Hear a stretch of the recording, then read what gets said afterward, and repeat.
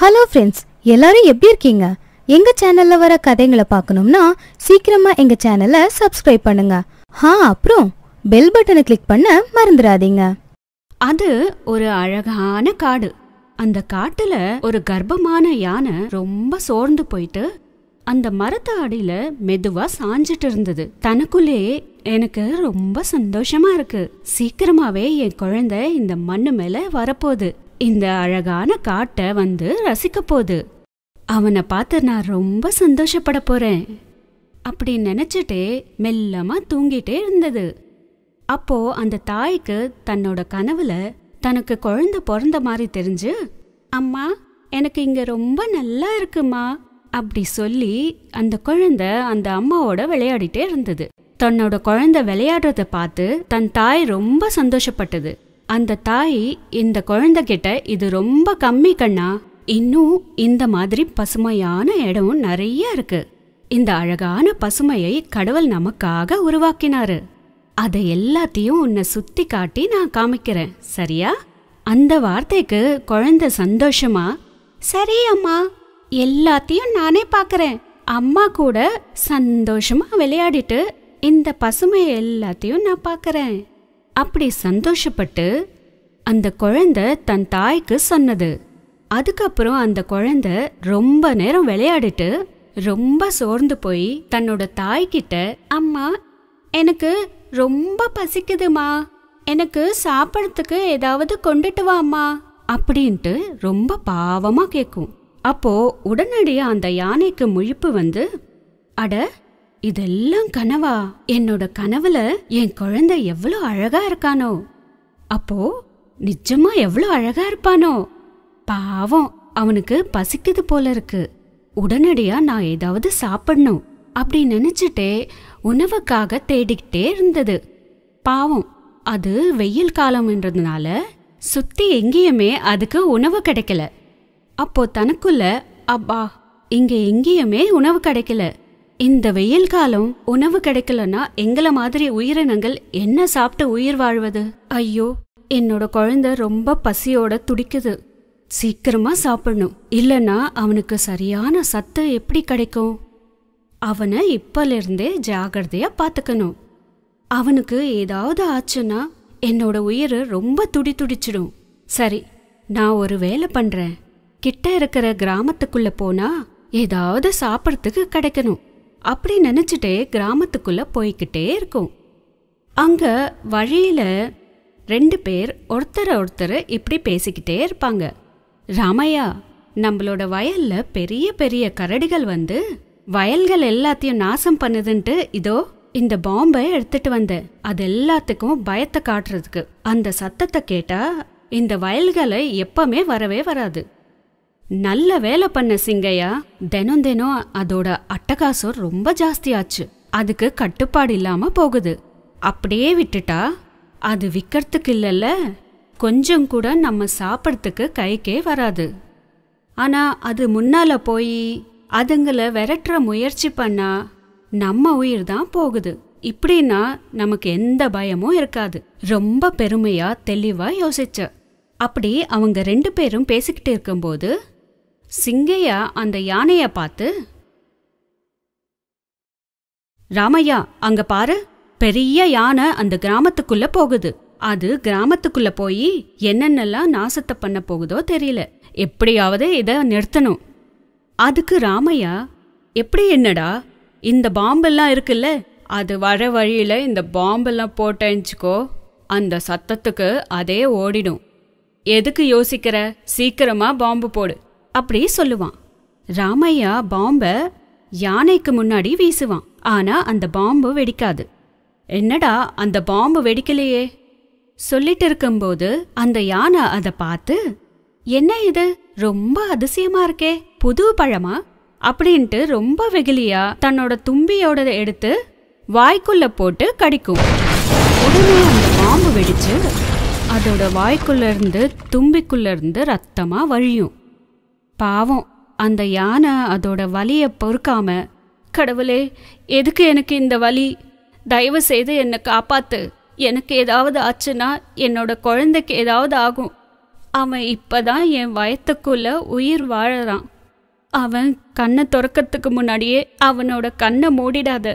அப்படி நினைச்சுக்கிட்டே எவ்வளவோ வலியோட பெருசா கத்திக்கிட்டே கிராமத்துக்குள்ள ஓடிட்டே இருக்கும். அதை பார்த்த ராமையா சிங்கையா கூட அது பின்னாடியே ஓடிக்கிட்டே இருப்பாங்க. அந்த யானை அப்படியே பெருசு பெருசா கத்திக்கிட்டே கிராமத்துக்குள்ள அந்த பக்கம் இந்த பக்கம் ஓடிக்கிட்டே இருக்கும். அந்த கிராமத்துக்குள்ள ஜனங்கள்லாம் அதை எல்லாருமே வித்தியாசமா பார்த்து ஒருத்தர் மாத்தி ஒருத்தர் ஐயோ எவ்வளோ பெரிய யானை? எப்படி கத்துதோ பாருங்க. பாவம். அதோட தும்பிலிருந்து வாயிலிருந்து ரத்தமா வழியுது. பாவம். என்ன நடந்ததோ ஏதோ. பார்க்க போனா அது கர்ப்பமா இருக்கு. ஐயோ கடவுளே என்ன நடந்துச்சோ ஏதோ. அதுக்கு அப்படின்னு கவலைப்படுவாங்க. அந்த யானை அப்படியே பெருசா கத்திக்கிட்டே என்னோட வாயெல்லாம் எரிஞ்சிட்டே இருக்கு.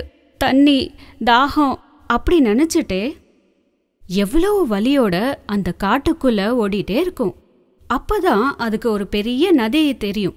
உடனடியா அந்த யானை அந்த தண்ணிக்குள்ள போய் எவ்வளவோ மூச்சு வாங்கிட்டு அழுதுட்டே எதுக்கு எனக்கு இந்த மாதிரி ஒரு நிலைமையை கொடுத்த? நான் சாக போறேன். என்னோட வயத்துக்குள்ள இருக்கிற குழந்தை கூட சாக போகுது. நான் எவ்வளவோ கனவு கண்டேன். என்னோட குழந்தைய இப்படி பார்க்கணும் அப்படி பார்க்கணும்னு. தாய்மையை ருசி பார்க்காமலே நான் சாக போறேன். ஐயோ நான் அந்த பழத்தை சாப்பிடாமலே இருக்கணும்.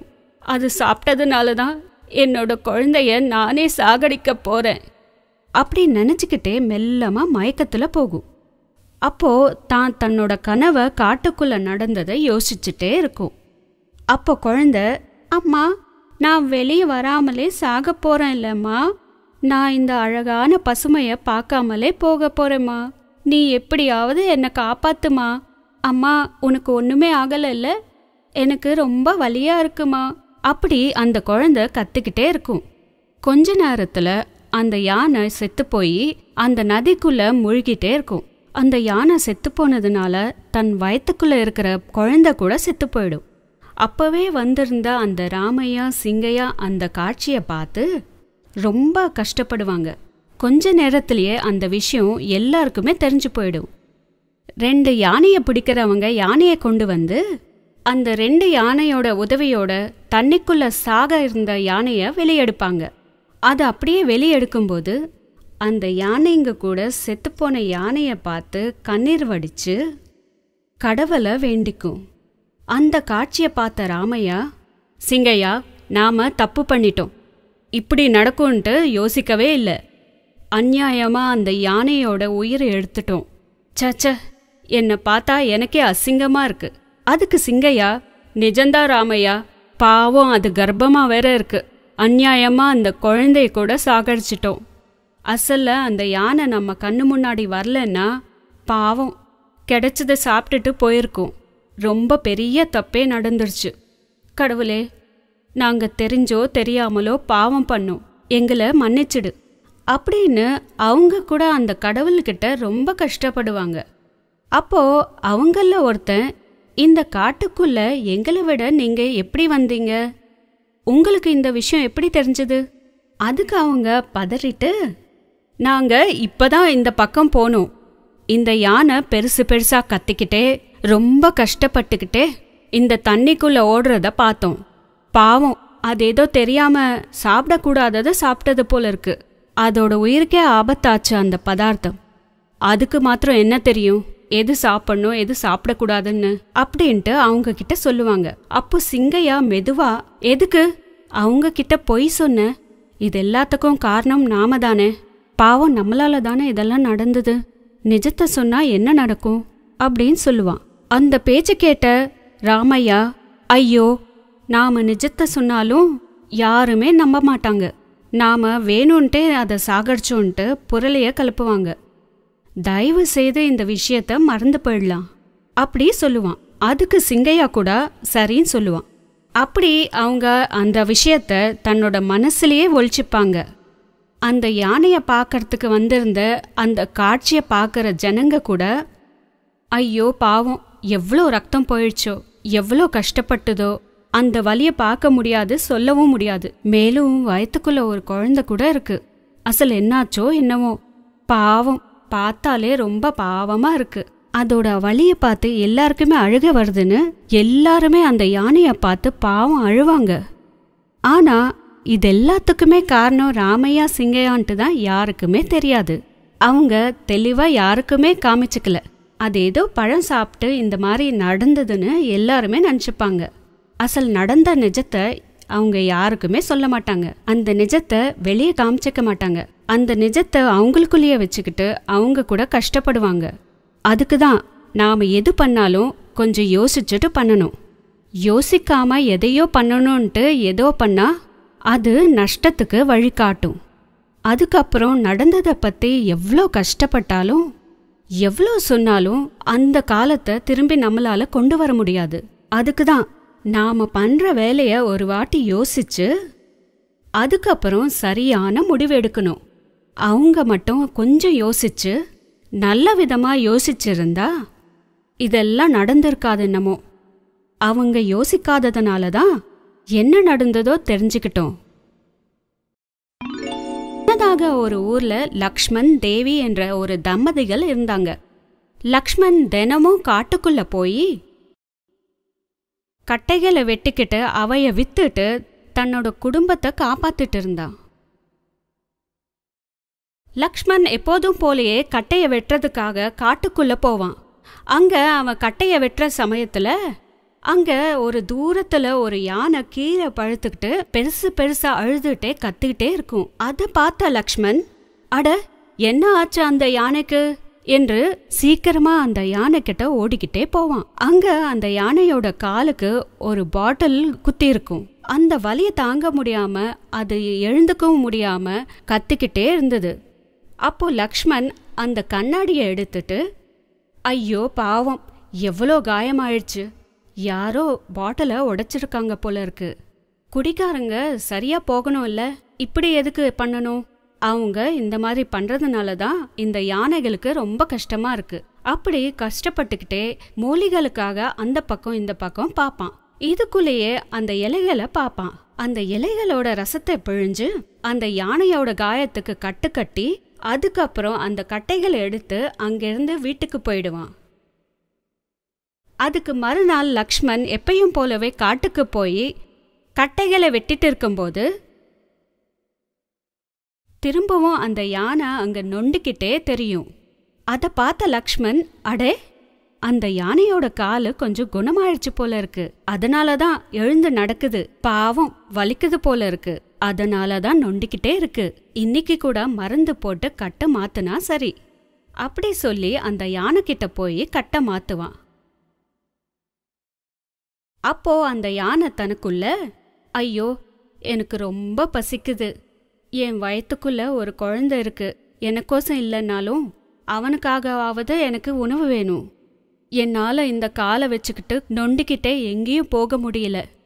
இந்த ஆள் மட்டும் எனக்கு உதவி பண்ண முடியலன்னா இப்படி கூட என்னால் நொண்டிக்கிட்டு நின்றுட்டு இருந்த அவகாசம் கிடைச்சிருக்காது சொல்லிட்டு அழுதுட்டே இருந்தது. அந்த கண்ணீரை பார்த்த லக்ஷ்மண் என்ன ஆச்சு இந்த யானைக்கு? இப்படி அழுதுட்டே இருக்கு. பாவம் வலிக்குது போல இருக்கு. பார்க்கறதுக்கு கர்ப்பமா இருக்கு. பாவம் சாப்பிட்டதோ இல்லையோ? நேத்திக்கு இன்னைக்கு இந்த யானையோட முகத்துல நல்ல மாற்றம் தெரியுது. அப்படி நினைச்சுட்டே தாங்கிட்ட இருந்த உணவை எடுத்துட்டு வந்து அதுக்கு ஊட்டுவார். அந்த யானை அதை சாப்பிட்டுட்டே கடவுள் இந்த மனுஷன் ரூபத்துல வந்து எனக்கு உதவி பண்ணாரு. இவரோடைய நல்ல குணத்துக்கு எதை கொடுத்தாலும் நல்லதுதான் அப்படின்ட்டு நினைச்சிட்டே இருந்தது. அதுக்கப்புறம் அந்த ஆளு அந்த கட்டைகளை கொண்டு போயிட்டே இருப்பாரு. அப்படி காலங்கள் கடந்தது. யானை லக்ஷ்மண் கிட்ட நல்ல விதமா இருந்தது. அவங்க ரெண்டு பேரும் நல்ல நண்பர்களா ஆயிட்டாங்க. ஒரு நாள் லக்ஷ்மண் தன்னோட மனைவி கிட்ட அந்த யானையை பத்தி சொல்லுவான். அப்போ அவங்க ரொம்ப சந்தோஷப்பட்டு நல்ல வேலை பண்ணீங்கங்க. எதனாலன்னா இப்போ நான் கூட கர்ப்பவதி. கர்ப்பவதியா இருக்கிறவங்களுக்கு உதவி பண்ணா கடவுள் நமக்கு பிறக்க போற குழந்தைக்கு கூட உதவி பண்ணுவாரு. அப்படி சொல்லுவாங்க. அதுக்கு அவரு ரொம்ப சந்தோஷப்பட்டு நீ சொன்னது நிஜம்தான் பத்மா. நாம எல்லாருக்கும் நல்லது பண்ணா கடவுள் நமக்கு கூட நல்லதே பண்ணுவாரு. நாம மனுஷங்க கிட்டயும் விலங்குகள் கிட்டயும் அன்பு காட்டுனா கடவுள் நம்மக்கிட்ட அன்பையும் அக்கறையும் காட்டுவார். சரி பத்மா நான் காட்டுக்கிட்ட போறேன். சொல்லி கட்டையை வெட்டுறதுக்கு காட்டுக்குள்ளே போவான். அவன் கட்டையை வெட்டி சோர்ந்து போய் ஒரு இடத்துல உட்காந்து தனக்குள்ளேயே என்ன? இன்னைக்கு என்னோட நண்பன் வரலையே? அப்படி நினைக்கும்போதே அந்த யானை அங்கே வரும். அதை பார்த்த லக்ஷ்மண் வா நண்பனே இப்பதான் உன்னை பற்றி நினச்சிட்டே இருந்தேன். சொல்லப்போனா உனக்கு ஒரு விஷயம் சொல்லணும். உன்னை பத்தி என்னோட மனைவிக்கு சொன்னேன். அவ ரொம்ப சந்தோஷப்பட்டா. நான் கூட சீக்கிரமாவே அப்பா ஆக போற நண்பனே. அந்த சந்தோஷத்தை நினைச்சாலே எனக்கு ரொம்ப சந்தோஷமா இருக்கு. நமக்கு இந்த மாதிரி ஆனந்தம் எவ்வளோ கோடி கொடுத்தாலும் கிடைக்காது. அப்படி சொல்லுவான். அதுக்கு யானை அது எல்லாத்துக்குமே தலையாட்டிக்கிட்டு தனக்குள்ளேயே ரொம்ப சந்தோஷம் நண்பனே. கடவுள் உங்களை நல்ல விதமா பார்த்துப்பாரு. நல்ல விதமா உங்க மனைவிக்கு பிரசவம் ஆகும். நீங்க உங்க மனைவி உங்க குழந்தை எப்பவுமே சந்தோஷமா இருக்கணும். சொல்லிக்கிட்டே தும்பியால அவரை ஆசிர்வதிக்கும். அதுக்கப்புறம் யானை கூட அதோட குழந்தைய பத்தி யோசிச்சுட்டே எனக்கு கூட பிரசவம் ஆனதுக்கப்புறம் என்னோட குழந்தைய இந்த லக்ஷ்மண் கிட்டே வைப்பேன். லக்ஷ்மன் தான் என்னோட குழந்தைக்கு நல்ல புத்திமதி சொல்லி வளர்ப்பான். அதை பார்த்து நான் ரொம்ப ஆனந்தப்படுவேன். என் குழந்த நாங்கள் எல்லாருமே ரொம்ப சந்தோஷமா இருக்கணும். என்னோட குழந்த இந்த உலகத்துக்குள்ள எப்போ வருவானோ என்னமோ நினச்சிட்டே இருக்கும். இதுக்குள்ள அந்த யானை பெருசு பெருசா கத்திக்கிட்டே ஒரேடையா கீழே விழுந்து கத்திக்கிட்டே இருந்தது. அதை பார்த்த லக்ஷ்மண் ஆச்சரியப்பட்டு ஐயோ என்ன ஆச்சு நண்பனே? அப்படின்ட்டு பதறிப்போய் தனக்குள்ளே ஐயோ ஒருவேளை இதுக்கு பிரசவ வலி வருது போல இருக்கே. நான் என்ன பண்றது கடவுளே? சொல்லி தன்னோட மனைவி கிட்ட போய் தன்னோட மனைவிய கூட்டிட்டு வருவான். அவங்க அங்க வந்து அந்த யானையோட தலைய நிமிரிட்டு கொஞ்சம் பொறுத்துக்கோமா ஒன்றும் ஆகாது. அப்படி சொல்லி தைரியம் சொல்லிக்கிட்டே இருக்கும். பாவம் அந்த யானை வலிய பொறுத்துக்க முடியாம தனக்குள்ள கடவுளே என்னால இந்த வலி பொறுத்துக்க முடியல. அம்மா ஐயோ. அப்படின்ட்டு ரொம்ப கஷ்டப்பட்டு ரொம்ப பெருசு பெருசா கத்திக்கிட்டே அழுதுகிட்டே இருக்கும். அப்போ லக்ஷ்மண் ஐயோ பத்மா இந்த யானை எதுக்கு இவ்ளோ பெருசா கத்திக்கிட்டே இருக்கு? இந்த பிரசவ வலி அவ்வளோ தாங்க முடியாம இருக்குமா? அதுக்கு மனைவி ஆமாங்க ஒரு தாய்க்கு ஒரு குழந்தைய ஒன்பது மாசம் சுமக்கிறது ஒரு விதம்னா இந்த பூமிக்குள்ள கொண்டு வர சமயத்துல எவ்வளோ வலிய அனுபவிக்கணும்னா அது வார்த்தைகளால சொல்லவே முடியாது. அதுக்கு தான் தாய்மையை விலக்கட்ட முடியாது. அந்த குழந்தைய பிரசவித்ததுக்கு கோடி கணக்கில் கும்பிடுவாங்க. இந்த சமயத்துல பொம்பளைங்களுக்கு மறுஜென்மம் எடுத்த மாதிரி அப்படி சொல்லுவாங்க. அந்த வார்த்தைகளை கேட்ட லக்ஷ்மண் கடவுளே இந்த யானைய நீங்க தான் காப்பாத்தணும். நல்ல விதமா தாயையும் சேயையும் காப்பாத்து அப்படின்ட்டு கடவுளை வேண்டிப்பான். அப்போ லக்ஷ்மண் மனைவி அந்த யானையோட தலை மேல நிமிரிட்டு கொஞ்ச நேரம் பொறுத்துக்கோ. எல்லாம் நல்ல விதமா நடக்கும் என்று சொல்லும். இதுக்குள்ள அந்த யானை பெருசா கத்தி ஒரு குழந்தைய பிரசவித்து அந்த தாய் யானை இறந்து போகும். அதை பார்த்த லக்ஷ்மண் அவருடைய மனைவி ரொம்ப கஷ்டப்பட்டு ஐயோ பாவம் கடவுளே ஏன் இந்த மாதிரி பண்ண? இந்த குழந்தைக்கு தாய் இல்லாம பண்ண. உனக்கு இது நியாயமா படுது அப்பா. அப்படி சொல்லி ரெண்டு பேருமே வேதனைப்படுவாங்க. பாவம் குழந்தையான யானை இறந்து போன அந்த தாய்கிட்ட பால் குடிச்சிட்டு இருந்தா அந்த காட்சியை பார்த்த எல்லாருக்குமே மனசு ரொம்ப வேதனைப்பட்டது. அப்போ லக்ஷ்மண் பத்மா இப்படி நடக்கும்ட்டு சுத்தமா நினைக்கவே இல்லை. குழந்தை பிறந்ததுன்ட்டு சந்தோஷப்படணுமா? தாய் தூரம் ஆயிடுச்சுன்ட்டு வேதனை பண்ணுமா புரியவே இல்லை. யானையோட நிலைமைய பார்த்ததுக்கு அப்புறமா எனக்கு உன்னை பத்தி நினைச்சா ரொம்ப வேதனையா இருக்கு அப்படின்ட்டு அழுதுட்டே இருப்பான். அப்போ பத்மா ஐயோ என்னங்க? இப்படி சின்ன குழந்தை மாதிரி அழுதுட்டே இருக்கீங்க. எனக்கு ஒன்றும் ஆகாது. ஆனாலும் இந்த தலையெழுத்தை யாராலையும் மாற்ற முடியாது. கடவுள் நம்மளோட தலையெழுத்தை முன்னாடியே எழுதியிருப்பான். எப்படி நடக்கணும்ன்ட்டு இருந்தா அப்படியே நடக்கும். நாம அதை பத்தி எவ்வளோ யோசிச்சாலும் பிரயோஜனமே இல்லை. சொல்லி தைரியம் சொல்லுவாங்க. பத்மா அழுதுகிட்டே அந்த யானையை கிட்ட பார்த்து பாவம் இந்த தாய் அந்த குழந்தைய பத்தி எவ்வளோ கனவு கண்டுட்டு இருக்கும். அது எல்லாத்தையும் பார்க்காமலேயே நிஜம் ஆகாமலேயே கருணையே இல்லாத இந்த கடவுள் இந்த குழந்தைக்கு தாயை தூரம் பண்ணிட்டான். அந்த தாய்க்கு இந்த குழந்தைய பார்க்குற பாக்கியமே இல்லாம பண்ணிட்டாரு. சொல்லி ரொம்ப அழுதுட்டே இருப்பாங்க. அவங்க கண்ணீரை பார்த்து சும்மா இரு பத்மா சும்மா இரு. நாம எதுவுமே பண்ண முடியாது. என்று இப்பதானே நீ சொன்ன? கடவுளோட எழுத்தை யாராலையும் தப்பிக்க முடியாது. சும்மா இரு. எது நடக்கணும்னா அதுவே நடக்கும். அந்த வார்த்தைகளுக்கு பத்மா சரின்னு சொல்லுவாங்க. அப்போ லக்ஷ்மண் பத்மா இப்போ நாம என்ன பண்ணணும்? தாய் தூரம் ஆயிட்டா அந்த குழந்தைய நாம வீட்டுக்கு கூட்டிட்டு போலாமா? இனிமே அந்த குழந்தை நாம கூட தான் சந்தோஷமா வாழும். அதுக்கு அவங்க சரின்னு சொன்னாங்க. அந்த குழந்தைக்கு நாம தான் அம்மா அப்பா ஆவோம். அப்படி சொல்லி அந்த யானையை கூட கூட்டிட்டு அவங்க வீட்டுக்கு போவாங்க.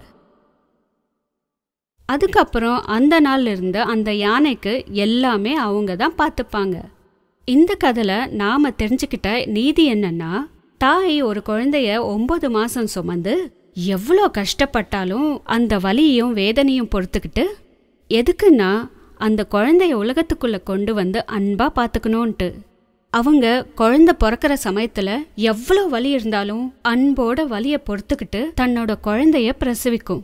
அந்த மாதிரியான தாய்க்குலத்தை சில பேர் நடு ரோட்டுல நாதி இல்லாம விட்டுட்டே போயிட்டு இருக்காங்க.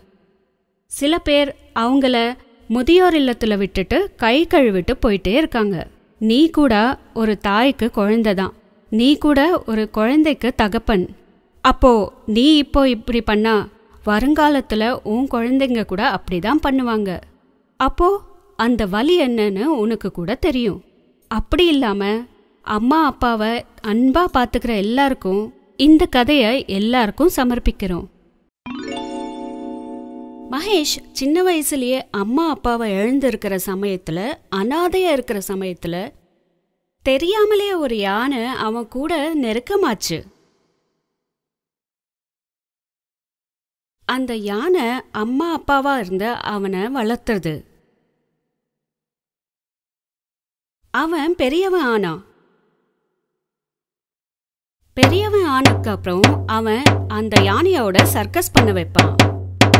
அந்த யானை சர்க்கஸ் பண்ணுறத பார்த்து எல்லாருமே சந்தோஷப்பட்டு அவனுக்கு எவ்வளோ அவ்வளோ பணத்தை கொடுத்து போயிட்டே இருப்பாங்க.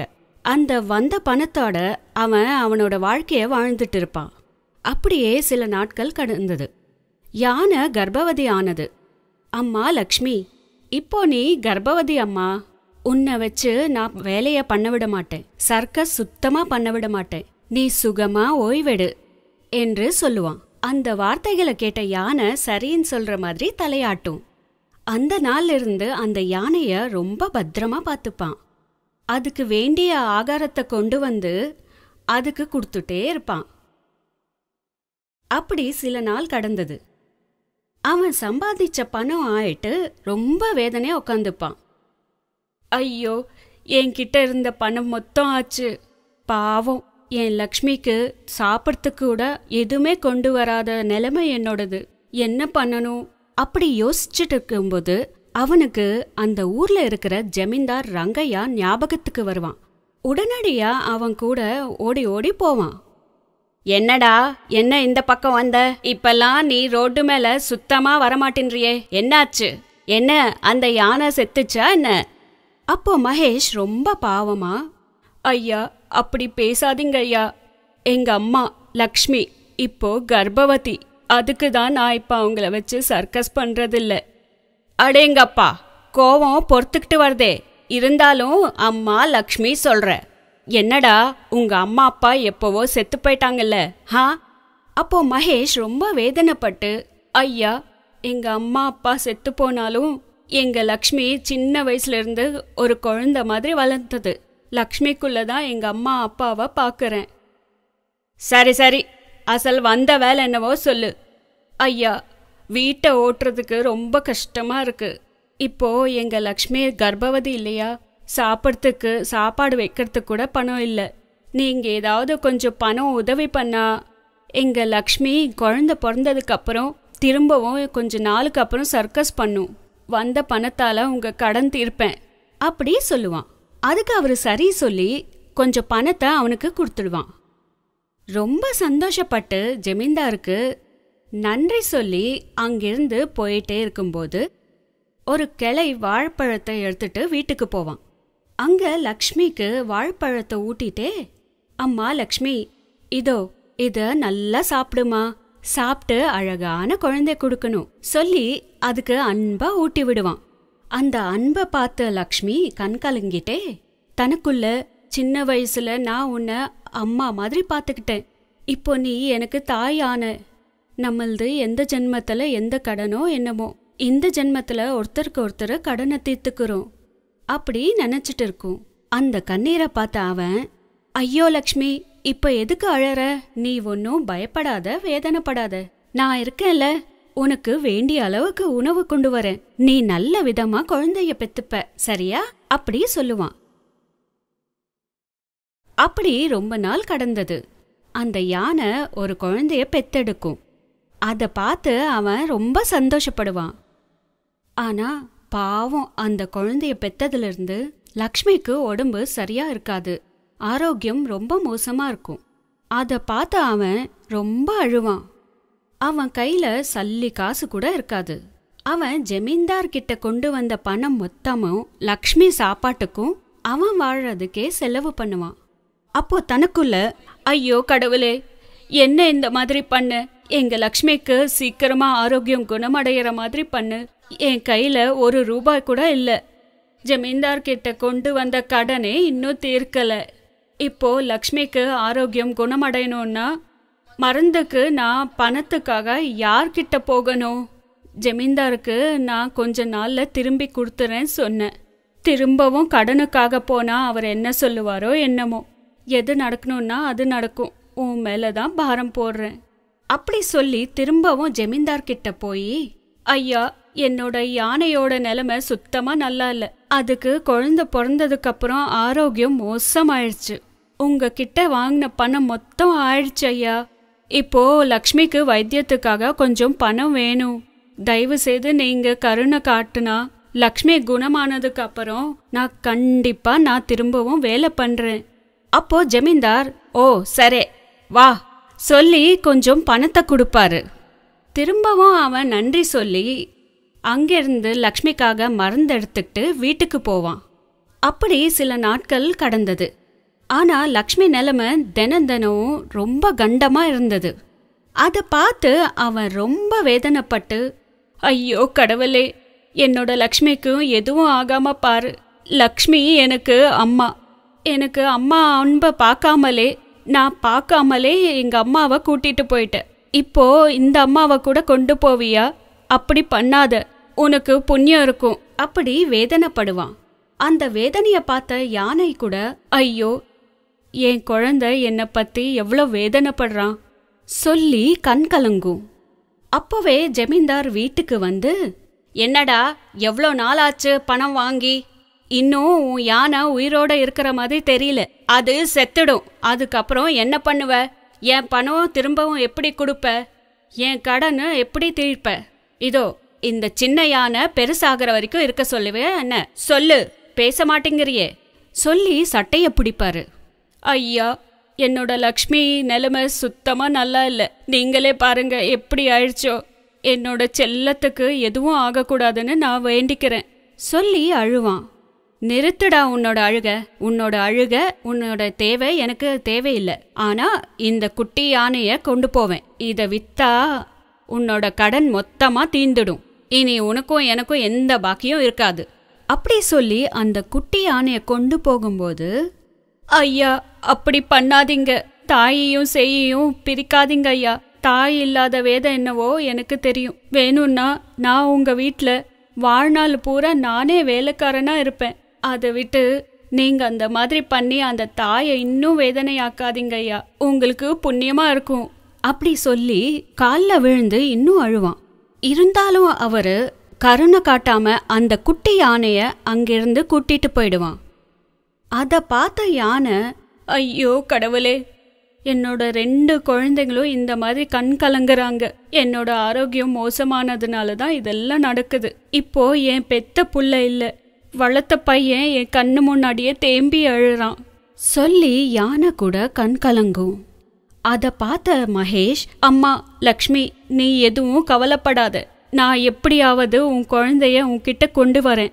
அப்படி சொல்லி ஓடி ஓடி அவர்கிட்ட போய் ரொம்ப கெஞ்சுவான்.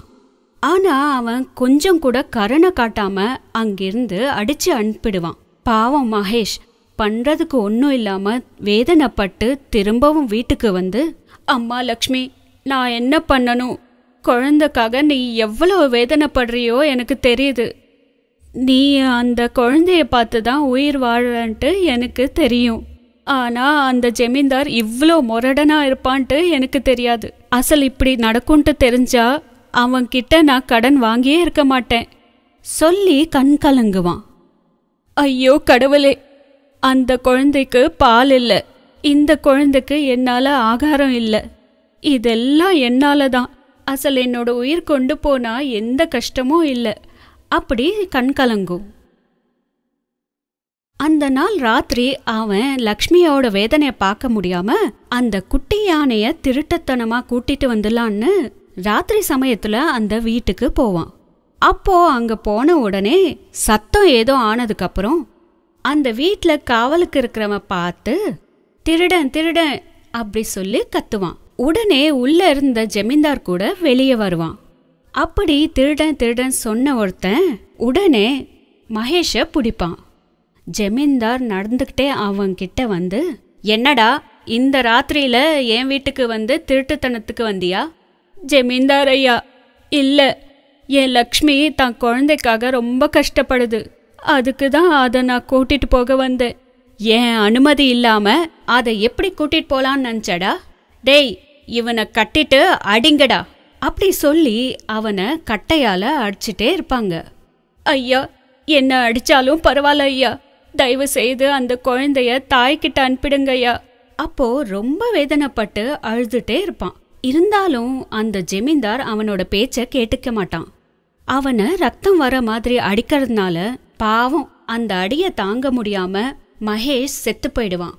அந்த சின்ன யானை பாலுக்காக பெருசு பெருசா கத்துக்கிட்டே அழுதுகிட்டே கத்துக்கிட்டே இருக்கும். அங்க யானை தனக்குள் கடவுளே என் குழந்தைங்க ரெண்டு பேருக்கும் எதுவும் ஆகாம நீ தான் பாத்துக்கணும் சொல்லி அழுதுட்டே இருக்கும். அது அப்படி அழுதுட்டே அழுதுட்டே அந்த யானைக்கு கூட ரொம்ப தாகம் எடுத்து பெருசு பெருசா கத்தும்.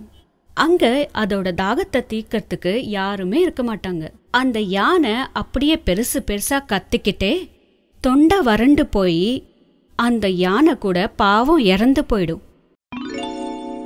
முன்னதாக ஒரு காடு இருந்தது. அந்த காட்டு ஓரத்துல ஒரு கிராமம் இருந்தது. அந்த கிராமத்துல சங்கர்ராவ் என்ற ஒருத்தர் இருந்தாரு. அவர்கிட்ட ரெண்டு யானைகள் இருந்தது. ஒன்னு செபரி ஒன்னு சுமதி சங்கர்ராவ் அதுக்கு கொஞ்சம் ஆகாரம் வச்சு கஷ்டமான வேலைகளை பண்ண விடுவான். பாவம் அந்த ரெண்டு யானைகள்ல சுமதி கர்ப்பவதி. ஒரு நாள் அந்த ரெண்டு யானைகள் வேலை பண்ணும்போது பாவம் சுமதி கர்ப்பவதி ஆனதுனால ரொம்ப எடைய சுமக்க முடியாம சோர்ந்து போய் அம்மா என்னால இந்த எடைய சுமக்க முடியல. எனக்கு ரொம்ப மூச்சு வாங்குது. கடவுளே கொஞ்ச நேரம் எனக்கு ஓய்வு கிடைக்கிற மாதிரி செய். உனக்கு புண்ணியமா போகும். அப்படி கடவுள்கிட்ட வேண்டிக்கிட்டு அங்க கொஞ்ச நேரம் நிற்கும் இதுக்குள்ள அங்க சங்கர்ராவ் வந்து என்னடி சாப்பிடுறது மாட்டம் குண்டா குண்டாவா சாப்பிடுவேன் வேலைக்கு மட்டும் உடம்பு உடங்காதே? உன்னை இப்படி கிடையாதே. அப்படி சொல்லி ஒரு பெரிய கொம்பால அத இஷ்டம் வந்த மாதிரி அடிப்பான். அந்த யானை எவ்வளவோ கவலைப்பட்டு ஐயோ கடவுளே கர்ப்பவதின்ட்டு பார்க்காம என்னை இப்படி அடிக்கிறான். எதுக்கு இப்படி பண்றான் கடவுளே? எனக்கு ஓய்வு வேணும்ன்ட்டு கேட்டேனே தவிர சாஸ்வதமா எனக்கு ஓய்வு வேணும்ன்ட்டு கேட்கல நான் எனக்காக இல்லைன்னாலும் என் குழந்தைக்காகவாவது உயிர் வாழணும். சொல்லி கண் கலங்கிட்டே இருக்கும். பாவம் அந்த யானை அந்த அடி வாங்க முடியாம இன்னும் சோர்ந்து போய் அங்க ஒரேடியா கீழே விழுந்துடும். நீ செத்தாலும் பரவாயில்ல. இந்த வேலை முடிஞ்சதுக்கு அப்புறம் செத்துப்போ. சொல்லி இன்னொரு யானை கிட்ட போய் என்னடி அதை பார்த்து நீயும் கத்துக்கிறியா? உனக்கோ ரெண்டு அடி விழணும். அப்படி சொல்லி அனாவசியமா அந்த யானையை கூட அடிப்பான். அதுக்கப்புறம் திரும்பவும் அதுகிட்ட உங்களுக்கு உடம்பு கொழுப்பேறி சோம்பேறி ஆயிட்டு இப்படி ஆடுறீங்க. அப்போ அப்போ இந்த மாதிரி தடியை அடி வாங்கினாதான் நீங்க பேச்சு கேட்க மாட்டீங்க. நான் வரத்துக்குள்ள இந்த வேலையெல்லாம் பூர்த்தி பண்ணலன்னா உங்க ரெண்டு பேர் வேலையும் சொல்றேன். அப்படி சொல்லி அங்கிருந்து கிளம்பிடுவான். அதுக்கப்புறம் அந்த ரெண்டு யானைகளும் ரொம்ப வேதனைப்பட்டு ஒருத்தர் ஒருத்தர் நண்பனே நீ எதுக்கும் கவலைப்படாத. நீ இப்போ கர்ப்பவதி. நான் உனக்கு உதவி பண்ணுறேன் நீ எதுவும் பண்ணாத. இந்த வேலையெல்லாம் நானே பண்றேன். நீ கொஞ்ச நேரம் அப்படியே ஓய்வு எடுத்துக்கோ.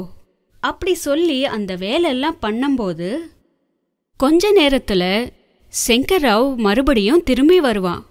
பாவம் கர்ப்பவதியான சுமதிய அங்க படுக்கிறத பார்த்து என்னடி வேலையெல்லாம் அதுக்கே ஒப்படைச்ச? வெக்கமே இல்லை உன் மூஞ்சுக்கு. உனக்கு முன்னாடி அடிச்ச அடி பத்தலை போல இருக்கு. இன்னும் நாலு பட்டாதான் பேச்சு கேட்க மாட்டேன். அப்படி சொல்லி இன்னும் அடிப்பான். பாவம் அந்த யானை எதுவும் பண்ண முடியாம வேற எதுவும் பண்ண முடியாம கண் கலங்கிட்டே இருக்கும். அந்த நாள் ராத்திரி சமயத்துல அந்த யானைகள் ஒருத்தருக்கு ஒருத்தர் நாம எந்த ஜென்மத்துல என்ன பாவம் பண்ணமோ என்னமோ இந்த ஜென்மத்துல இந்த மாதிரி கஷ்டப்பட வேண்டியது இருக்கு. கடவுளுக்கு நம்ம மேல கருணையே இல்லை. அசல்ல கர்ப்பவதின்ட்டுன்னு பார்க்காமலே சித்திரவதி பண்றான் இந்த மனுஷன். அதுக்கு முன்னாடி இருந்த எஜமா எவ்வளோ நல்ல விதமா பார்த்துக்கிட்டான் ரொம்ப அன்பா பார்த்துப்பான் அந்த மாதிரி அன்பா இருக்கிறவங்க இருந்தா எவ்வளவோ நல்லா இருக்கும். அப்படி கண் கலங்கிட்டே ரொம்ப வேதனைப்படுங்க. அந்த யானைகளோட வேதனையை பார்த்த ஒரு பேய் அந்த யானைகள் முன்னாடி பிரத்யட்சமாய் கவலைப்படாதீங்க. நான் உங்க கவலைய தீர்க்க தான் வந்தேன். சொல்லி அந்த ரெண்டு யானைகள் மேல கை வச்சு நிமிரிட்டே இருக்கும். அந்த பேய் அப்படி பண்ணும்போது அதோட கவலையெல்லாம் மறந்து போய் கண் கலங்கிட்டே அந்த பேய கிட்ட பார்த்து அம்மா அப்படின்ட்டு அன்பா கூப்பிடும். அந்த ரெண்டு யானைகள் அம்மான்ட்டு கூப்பிடும்போது அந்த பேயோட மனசு மெய் சிலிர்த்துடும். எவ்வளோ அன்பா கூப்பிட்டீங்க அம்மான்ட்டு. இப்போ எனக்கு புரியுது. நீங்க இங்க எவ்வளோ கஷ்டப்படுறீங்கன்ட்டு. இந்த மொரடனுக்கு நான் சரியான புத்தி சொல்றேன். நீங்க ரெண்டு பேரும் கவலைப்படாதீங்கம்மா. நான் உங்க உடம்பு மேல இருக்கிற காயத்தை நீக்கிடுறேன். சொல்லி அந்த யானைகளோட உடம்பு மேல இருக்கிற காயத்தை மாயம் பண்ணிடும். அந்த பேய் காட்டுற அன்பை பார்த்து அந்த ரெண்டு யானைகளும் அவங்க வேதனையெல்லாம் மறந்து போயிடும்.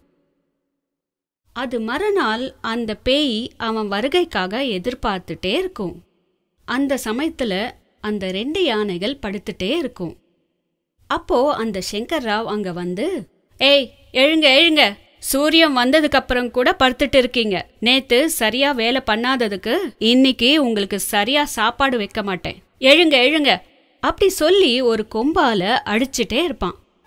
அப்போ அந்த பேய் அதோட மாய்களால அந்த கொம்பை திரும்பவும் அவனை அடிக்கிற மாதிரி பண்ணும். அம்மா ஐயா அப்படின்ட்டு கத்திட்டே இருப்பான். அதுக்கப்புறமா அவன் மூக்கு பெருசா யானை தும்பி மாதிரி மாறிடும். அவனுக்கு தெரியாமலே அங்க இருக்கிற கட்டைகளை அந்த தும்பியால இழுத்துட்டு போவான். அதை பார்த்த அந்த பேய் பெருசு பெருசா சிரிச்சுட்டே இருக்கும். அப்போ அவன் தன் மனசுல எவ்வளோ எடையா இருக்கு? என்னடா கடவுளே? அசல் இதெல்லாம் எப்படி நடக்குது? இதெல்லாம் என்னோட ஈடுபாடு இல்லாமலே நடக்குது. கடவுளே எப்படி இதெல்லாம் நிறுத்துறது? அப்படி சொல்லி அந்த கட்டைகள் எல்லாம் சேர்த்துவான். அப்படி பண்ணி பண்ணி ஒரேடியா சோர்ந்து போய் ஒரேடியா உட்காந்து தாகம் தாகம் பசிக்குது பசிக்குதுன்ட்டு சொல்லி பெருசு பெருசா கத்துவான். அப்போ அந்த பேய் அவன் முன்னாடி பிரத்யக்ஷமாய் தாகமா இருக்கா? பசிக்குதா? இந்தா தண்ணி குடி. அப்படி சொல்லி அவனுக்கு கிடைக்காம அந்த தண்ணியை கீழே ஊத்திட்டே இருக்கும். அந்த பேயை பார்த்த அவன் உனக்கு புத்தி இருக்கா? ஒரு மனுஷன் தாகம் பசின்ட்டு சொல்லிட்டு இருந்தா நீ இப்படி பண்ணுவியா? அதுக்கு தான் உங்களை பேயின்னு சொல்லுவாங்க.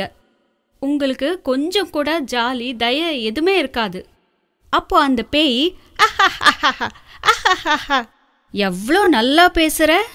எதுவா இருந்தாலும் தான் கிட்ட வர வரைக்கும் தெரியாது என்ற பழமொழி சும்மா சொல்லல. உன்கிட்ட வர வரைக்கும் ஜாலி தயன்ட்டு பேசிட்டு இருக்கியா? அப்போ தினமும் அந்த யானைகளுக்கு சாப்பாடு வைக்காம நிறைய வேலைகள் செய்ய வைப்பல்ல? அப்போ உனக்கு ஜாலி தயான்ட்டு தோணலையா? இன்னும் கர்ப்பவதின்னு தெரிஞ்சு கூட அந்த யானைய சித்திரவதி பண்ற அப்போ உனக்கு தோணலையா? ஜாலி தய. ஒரு வாட்டி அதோட முகத்தை பாரு. எவ்வளோ பாவமா எவ்வளோ வெகுலியா எவ்வளோ அன்பா பாக்குது பாரு. அதோட முகத்தை பார்த்து கூட அதை எப்படி அடிக்கணும்னு தோணுது? ஒரு பேய அம்மான்ட்டு கூப்பிட்டுச்சுன்னா அது அன்பா எழுந்து எவ்வளவோ நாளாச்சுன்ட்டு தோணுது. நீ மனுஷனா இருந்து விலங்குகள் மேல எவ்வளோ அன்பா இருக்கணும்?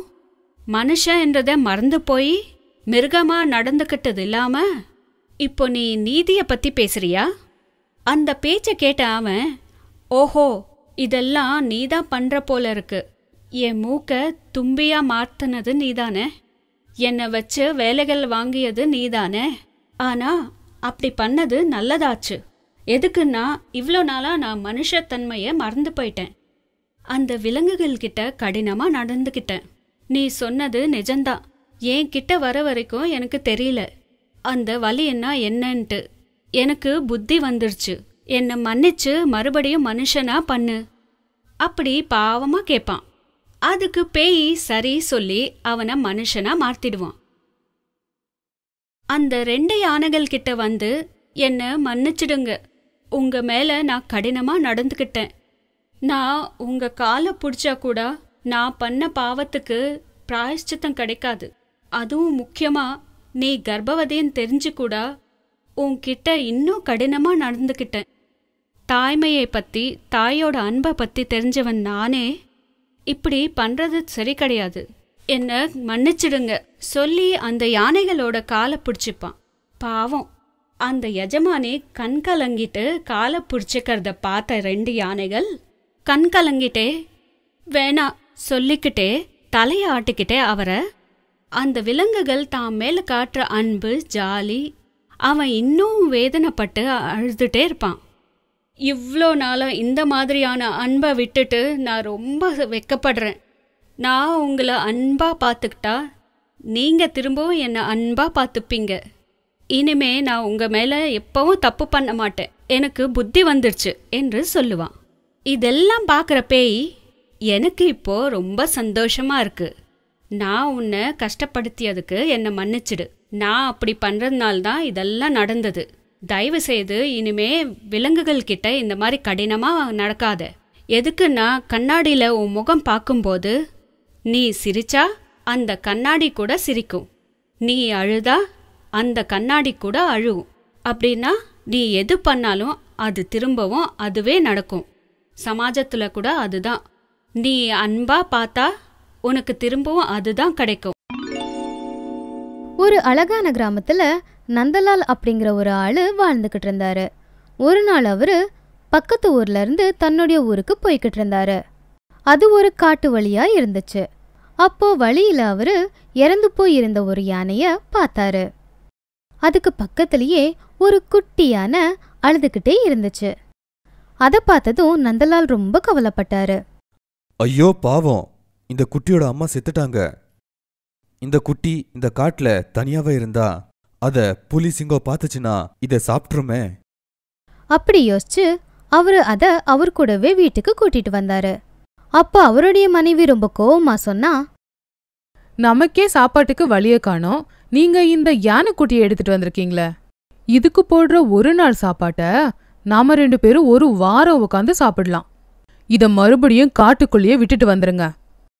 இல்ல இல்ல பத்மா இந்த யானைய தனியா காட்டுல விட்டா வேற விலங்கு இத கொன்னுரும். அப்படி அது செத்துச்சுன்னா அதோட பாவம் நமக்கு தான் வரும். இத பத்தி நீ கவலைப்படாத. பாவம் அது விட்டுரு. இதுக்கு என்ன தேவையோ அத நான் பாத்துக்கிறேன் நந்தலால் அவனுடைய மனைவிய சமாதானப்படுத்தினான் சரின்னு சொல்லி மனைவியை சமாதானமாயிட்டா. நாட்கள் நகர்ந்துச்சு. யானை பெருசாயிடுச்சு. இப்போ அது கர்ப்பமா இருக்கு நந்தலாலும் அத ரொம்ப நல்லா கவனிச்சுக்கிட்டான் அவன் அத ரொம்ப பாசமா பார்த்துக்கிட்டான் இத பார்த்து அவனுடைய மனைவி பத்மா ரொம்ப கோவப்பட்டுக்கிட்டு இருந்தா. ஏங்க இதுக்கு இவ்ளோ சாப்பாடு கொடுக்குறீங்க? அதை வச்சு நீங்க என்ன சர்க்கஸா காட்ட போறீங்க? இதுக்கப்புறம் இத பாக்குறதும் இல்லாம இத பெத்துக்க போற குழந்தைய வேற பாத்துக்கணுமா? நீங்க பண்றத எல்லாத்தையும் பார்த்தா தினமும் இதுக்கு இவ்ளோ சாப்பாடு கொடுப்பீங்க போல தெரியுதே. தினமும் எவ்ளோ சம்பாதிக்கிறீங்களோ இதுக்கே எல்லாத்தையும் செலவழிக்கிறீங்க. அப்புறம் நாம எப்படிதான் வாழ்றது? முத இது ரொம்ப சின்னதா இருந்தது அதனால நான் எதுவும் சொல்லல. இப்பதான் இது பெருசா இருக்குல்ல? அனுப்பிடுங்க இத. பத்மா ரொம்ப கோவமா சொன்னா. இது எங்கேயோ போகாது. என் கூடவே தான் இருக்கும். நந்தலாலுக்கும் ரொம்ப கோவம் வந்துச்சு. ஓஹோ அப்படியா? நானும் பாக்குறேன் அது இங்கிருந்து எப்படி போகாதுன்னு. பத்மா பெரிய குச்சியை எடுத்து யானையை அடிக்க ஆரம்பிச்சா.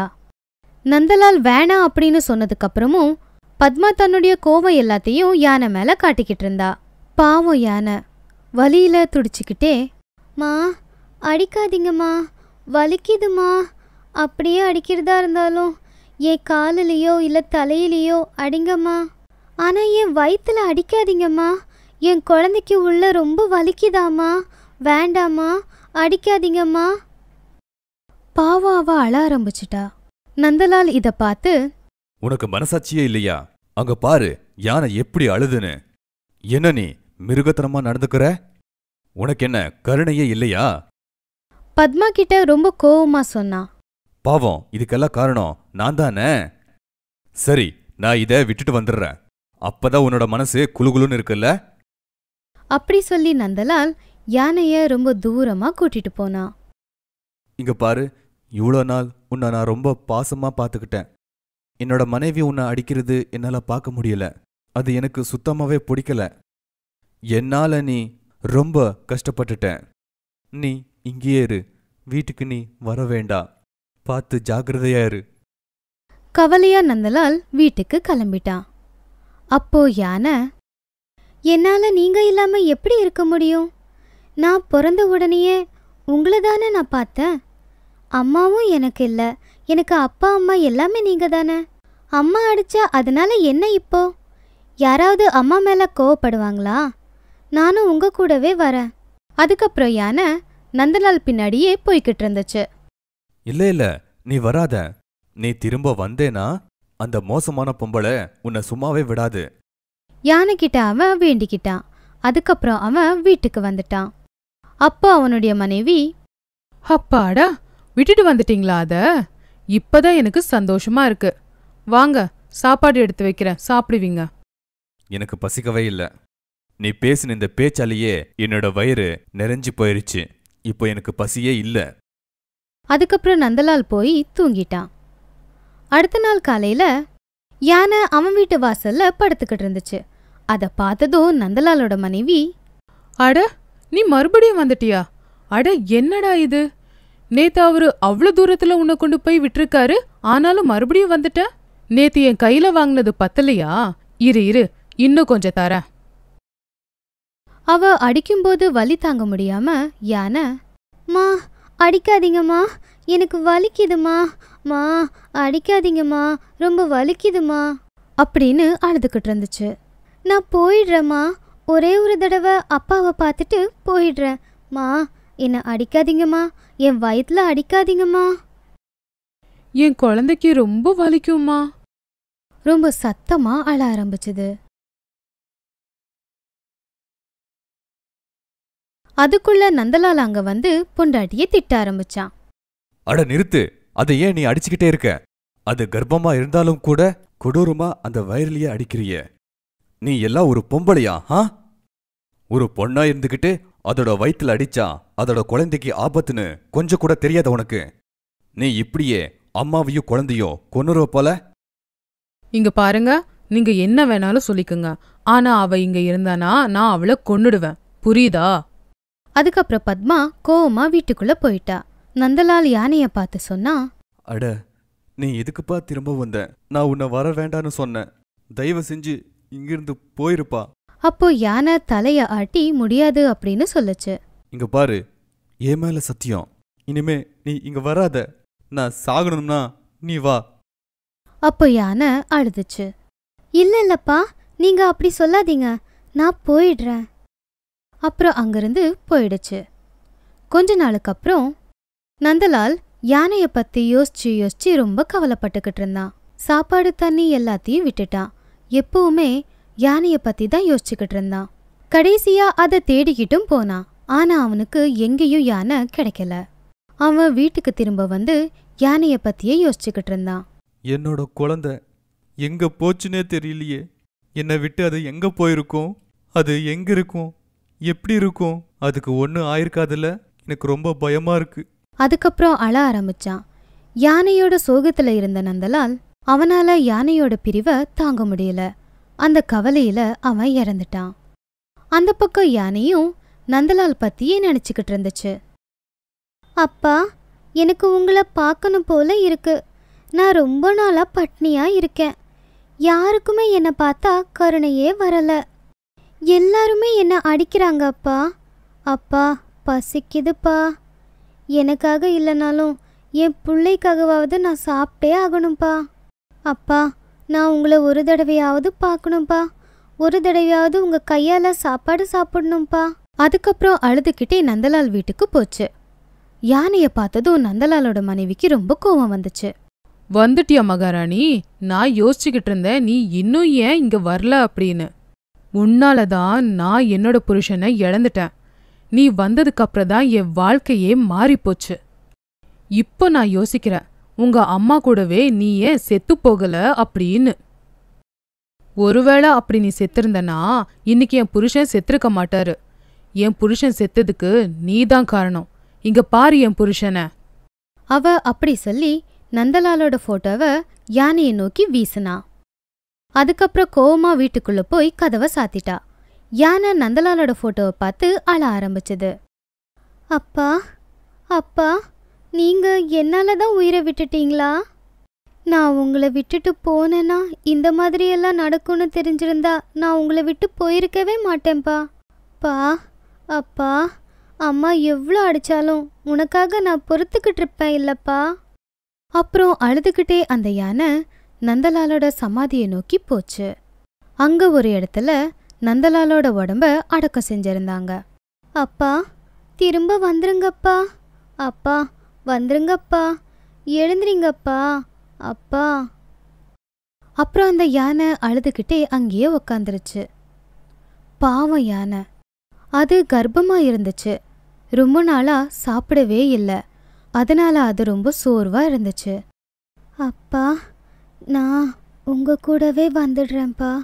நான் நீங்கள் என்னோட குழந்த. நம்ம எல்லாரும் ஒன்றா இருக்கலாம்ப்பா. கடவுள் கூடவே இருக்கலாம். அப்படி சொல்லி யானையும் அதோட உயிரை தியாகம் பண்ணிடுச்சு. நந்தலாலோட மனைவி அவனுடைய போட்டோவை தேடிக்கிட்டு வீட்டுக்கு வெளியே வந்து பார்த்தா. அட இந்த யானை அவரோட போட்டோவையும் எடுத்துட்டு போயிடுச்சா? உயிரோட இருந்தவரை அது கொன்னுடுச்சு. இப்போ அவருடைய போட்டோவையும் எடுத்துட்டு போயிடுச்சா? எங்க போச்சு அது? அவ யானைய தேட ஆரம்பிச்சா. அப்போ வழியில நந்தலாலோட சமாதி கிட்ட அந்த யானை இறந்து கிடந்தத அவ பார்த்தா. அத பார்த்து பத்மா அவளையே திட்டிக்க ஆரம்பிச்சா.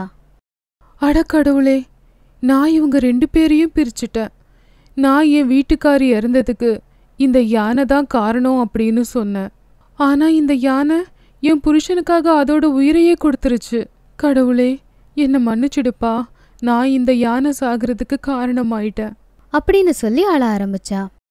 பத்மாவுக்கு தான் செஞ்ச தப்பு புரிஞ்சுது. ஆனா இப்போ ரொம்ப தாமதமாயிடுச்சு. நந்தலால் அப்புறம் யானை அவங்க ரெண்டு பேரோட உயிரையும் விட்டுட்டாங்க. என்ன பண்ணாலும் அவங்கள திரும்ப கொண்டு வர முடியாதுல்ல? பார்வதி நந்தலாலோட சமாதிக்கு பக்கத்துல போய் நான் தான் இந்த யானையோட சாவுக்கு காரணம். அப்படி சொல்லி அவளையே திட்டிக்கிட்டு அவ பார்த்தா யானையோட வயிறு அசைஞ்சுக்கிட்டு இருந்துச்சு. பார்வதி ரொம்ப ஆச்சரியப்பட்டா. இந்த யானையோட வயிறு அசையுது. அப்படின்னா இதோட குழந்தை உயிரோட இருக்கு. கடவுளே இது உண்மை அப்படின்னா நான் செஞ்ச பாவத்துக்கு கண்டிப்பா பிராயச்சித்தம் செஞ்சிடுவேன். அதுக்கப்புறம் அங்கிருந்து வேகமா ஓடி வெட்னரி ஹாஸ்பிட்டலுக்கு போனா. அங்க அவ டாக்டர் ஸ்ராவணி கிட்ட நடந்த எல்லாத்தையும் சொல்லி அவளை கூடவே கூட்டிட்டு வந்தா. அப்போ டாக்டர் ஸ்ராவணி சொன்னாங்க ஆமா நீ சொன்னது உண்மைதான். இதோட குழந்தை உயிரோட இருக்கு. நான் இப்பவே அதை வெளியே எடுக்கிறேன். டாக்டர் ஸ்ராவணி குழந்தைய வயித்துல இருந்து வெளியே எடுத்தாங்க. அந்த குழந்தைய பார்த்ததும் பார்வதி டாக்டர் ஸ்ராவணிய பார்த்து கையெடுத்து கும்பிட்டு நன்றின்னு சொன்னான் நான் ஒரு கொலகாரி. இவங்க அம்மாவோட சாவு என்னால தான் நடந்துச்சு. என்னுடைய புருஷனையும் நானே கொன்னுட்டேன். இந்த பாவத்துக்கெல்லாம் பிராயஷ்சித்தம் செய்யற வழி உங்க மூலமா எனக்கு கிடைச்சிருக்கு. இந்த குழந்தைய நான் பத்திரமா பார்த்துப்பேன். அப்படி சொல்லிக்கிட்டு இருக்கும்போதே பார்வதி திடீர்னு மயக்கம் போட்டு விழுந்துட்டா. டாக்டர் ஸ்ராவணி ரொம்ப பயந்துட்டாங்க. அட என்னாச்சு? நீங்க திடீர்னு ஏன் மயக்கமாயிட்டீங்க? அவங்க உடனே ஹாஸ்பிட்டலுக்கு ஃபோன் செஞ்சு அவங்களுடைய உதவியாளர் மது கிட்ட உடனே ஆம்புலன்ஸ் எடுத்துட்டு வர சொன்னாங்க. மதுவும் வேகமா ஆம்புலன்ஸ் எடுத்துட்டு வந்துட்டான். டாக்டர் ஸ்ராவணி மது கிட்ட கேட்டாங்க மது உங்களுக்கு இவங்கள தெரியுமா? மது சொன்னா? எஸ் மேடம் இவங்களை எனக்கு தெரியும். இவங்க என்னோட ஃப்ரெண்டு நந்தலால் வைஃப் பாவ நந்தலால் சில நாட்களுக்கு முன்னாடி அவன் இறந்துட்டான். சரி உங்களுக்கு இவங்க வீடு தெரியும்ல? ஹா மேடம் எனக்கு தெரியும். சரி அப்படின்னா அவங்களையும் இந்த யானைக்குட்டியையும் அவங்க வீட்டுக்கு கொண்டு போய் விட்டுடுங்க. அவங்க ரெண்டு பேரையும் ஆம்புலன்ஸ்ல கூட்டிட்டு போனாங்க.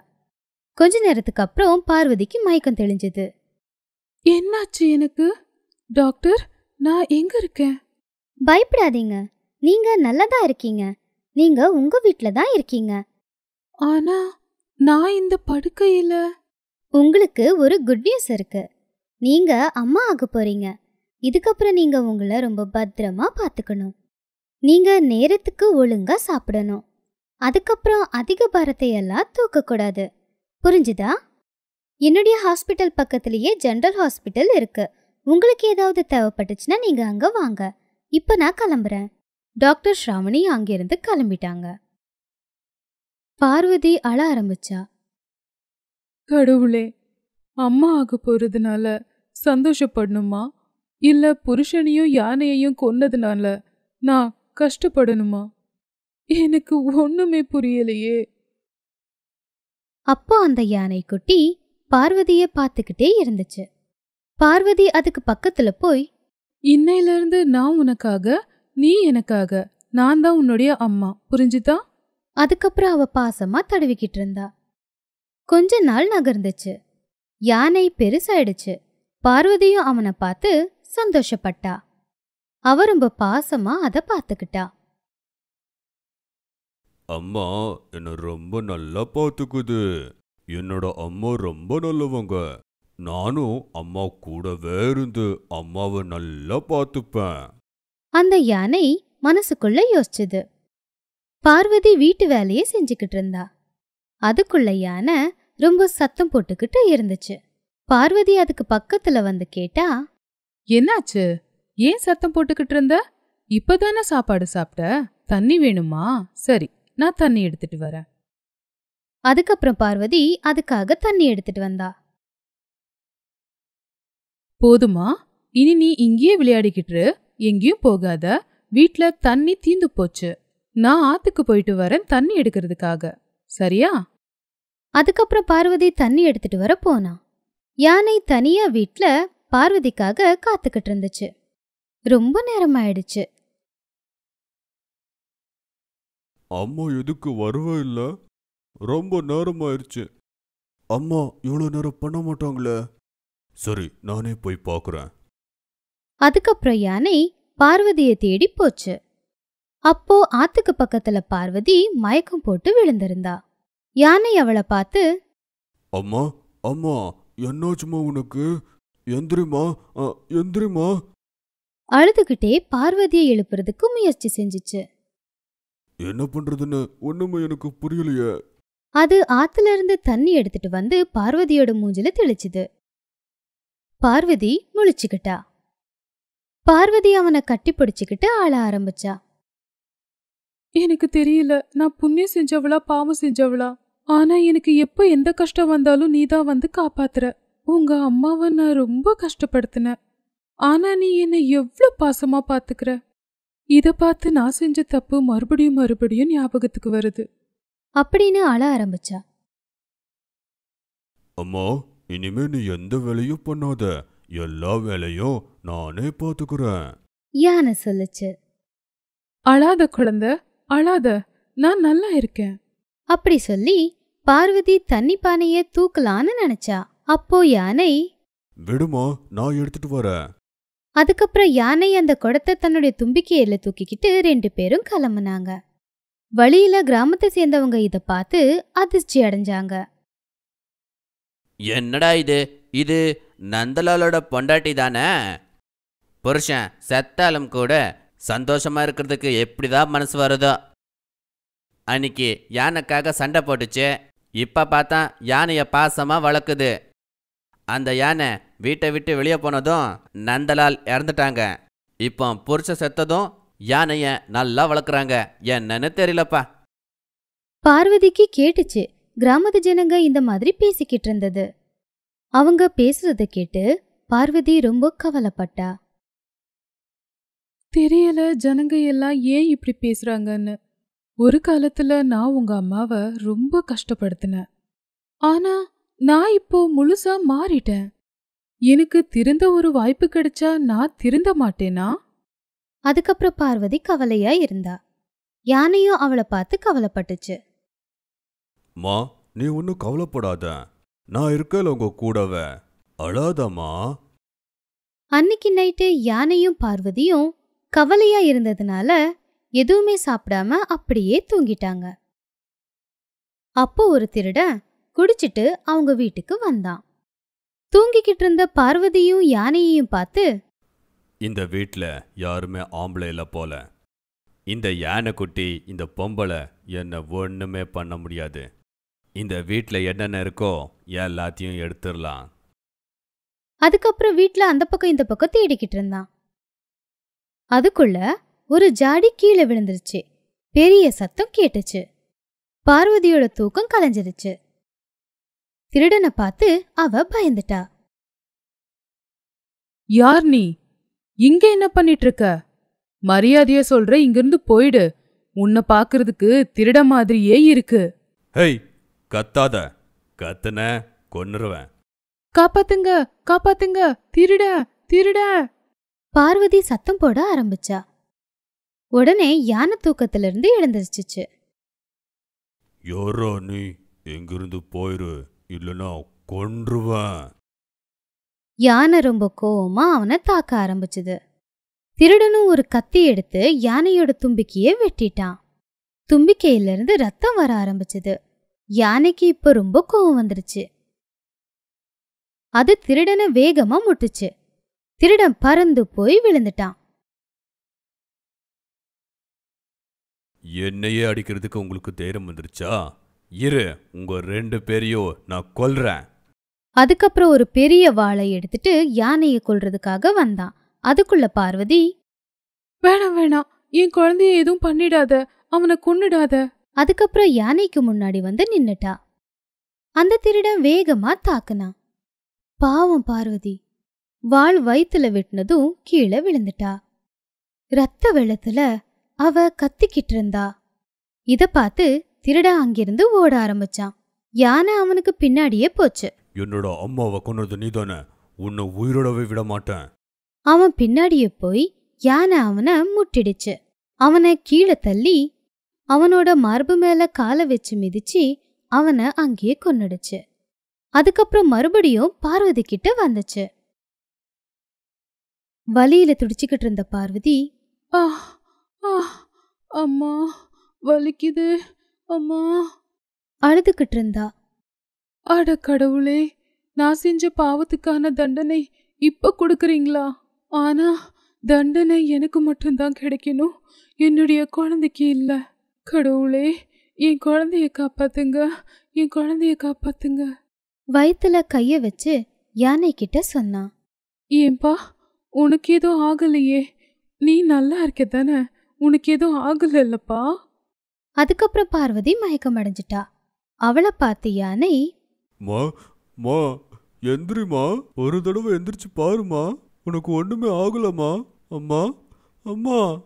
யானை சத்தம் போட்டு அழுதுகிட்டு இருந்துச்சு. என்ன பார்வதி உயிர் பொழைச்சிடுவாளா? இல்ல அவ செத்துடுவாளா? பார்வதிய யானை காப்பாத்திடுமா? எப்படி காப்பாத்தும்? அது என்ன செய்யும் அவளோட உயிரை காப்பாத்த? அப்படிங்கறத கதையோட அடுத்த பாகத்துல பார்க்கலாம் ஒரு அழகான கிராமத்துல மகேஷ் அப்படிங்கிற ஒரு ஆளு கரும்புச்சாரை விற்று தன்னுடைய வாழ்க்கைய நடத்திக்கிட்டு இருந்தான். ஒரு நாள் மகேஷோட கடைக்கு பக்கத்துல ஒரு யானை வந்துச்சு. அந்த யானை கர்ப்பமா இருந்துச்சு. அது மனசுக்குள்ள யோசிச்சுது எனக்கு ரொம்ப பசிக்குது. என் வயித்துல இருக்கிற குழந்தையும் பசியால ரொம்ப துடிச்சுக்கிட்டு இருக்கு. ஒருவேளை சாப்பிட அந்த கரும்பு கிடைச்சதுன்னா எவ்வளோ நல்லா இருக்கும். அட கடவுளே இந்த ஆள் என்னை பார்த்து எனக்கு அதை சாப்பிட கொடுப்பாரா? அப்படி கொடுத்தா நல்லா இருக்கும். அதுக்குள்ள மகேஷ் அந்த யானைய பார்த்தான் அட இந்த யானை எதுக்கு இப்படி பாக்குது ரொம்ப சோர்வா இருக்கு. அதுக்கு பசிக்குது போல. அதுக்கப்புறம் மகேஷ் சில கரும்பு துண்டுகளை அதுக்கு கொடுத்தான் அப்போ யானை ரொம்ப சந்தோஷமா அதை சாப்பிட்டுச்சு. அப்போ மகேஷ் அதை தடவி கொடுத்துட்டு கேட்டான் சந்தோஷமா? பசி எல்லாம் நீங்கிருச்சா? அதுக்கப்புறம் மறுபடியும் அவனுடைய கடைக்கு போனான்.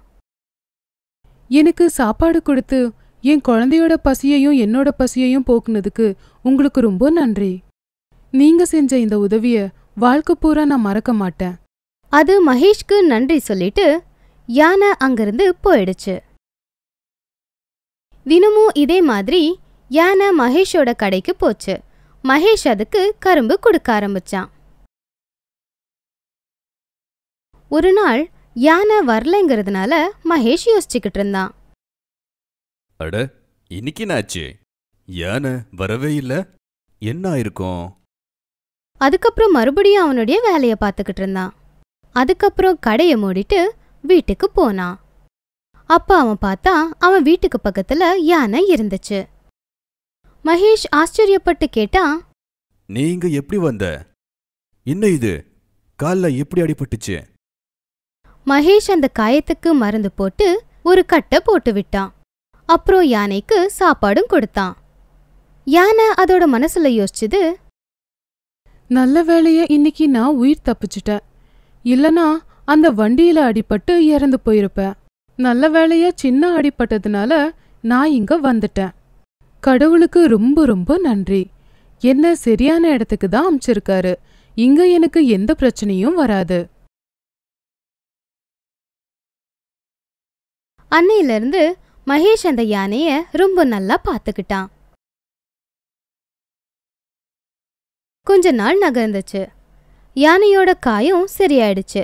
இப்போ அந்த யானை மகேஷ் கூட அவனோட கடைக்கு போச்சு. ஒரு நாள் மகேஷோட கடையில் தண்ணி தீந்து போச்சு. அவன் யானை கிட்ட சொன்னா இங்க பாரு இங்கேயே இரு எங்க போகாத. நான் போய் தண்ணி எடுத்துக்கிட்டு வரேன். கடைய பத்திரமா பாத்துக்கோ அதுக்கப்புறம் மகேஷ் தண்ணி எடுத்துட்டு வர போனான் மகேஷ் தண்ணி எடுத்துட்டு திரும்ப வந்து பார்க்கும்போது அவன் கடைக்கிட்ட நிறைய ஆட்கள் நின்னுட்டு இருந்தாங்க என்னாச்சு? இவ்ளோ கூட்டமா இருக்கு? என்னோட யானைக்கு ஏதாச்சும் ஆயிருக்குமோ? அப்புறம் அவன் பயந்து போய் பக்கத்துல வந்து பார்த்தான். அப்போ அங்க நடந்ததை பார்த்து அவன் ரொம்ப ஆச்சரியப்பட்டான். யானை கரும்பு சாறை எடுத்து ஜனங்களுக்கு வித்துக்கிட்டு இருந்துச்சு. அதை பார்த்து ஜனங்க எல்லாரும் சொன்னாங்க அட என்ன இது அதிசயம்? யானை கரும்பு சாறை எடுத்து எல்லாருக்கும் கொடுக்குதா? ரொம்ப நல்லா இருக்கு. ஜனங்க எல்லாரும் ரொம்ப சந்தோஷப்பட்டு கரும்பு சாறை யானையோட கையால வாங்கி சாப்பிட்டாங்க. மகேஷ் யானை கிட்ட சொன்னா அட நீ கடைய பத்திரமா பாக்குறதும் இல்லாம இந்த கடைக்கு கிராக்கிய கூட அதிகமாக்கிட்டியே.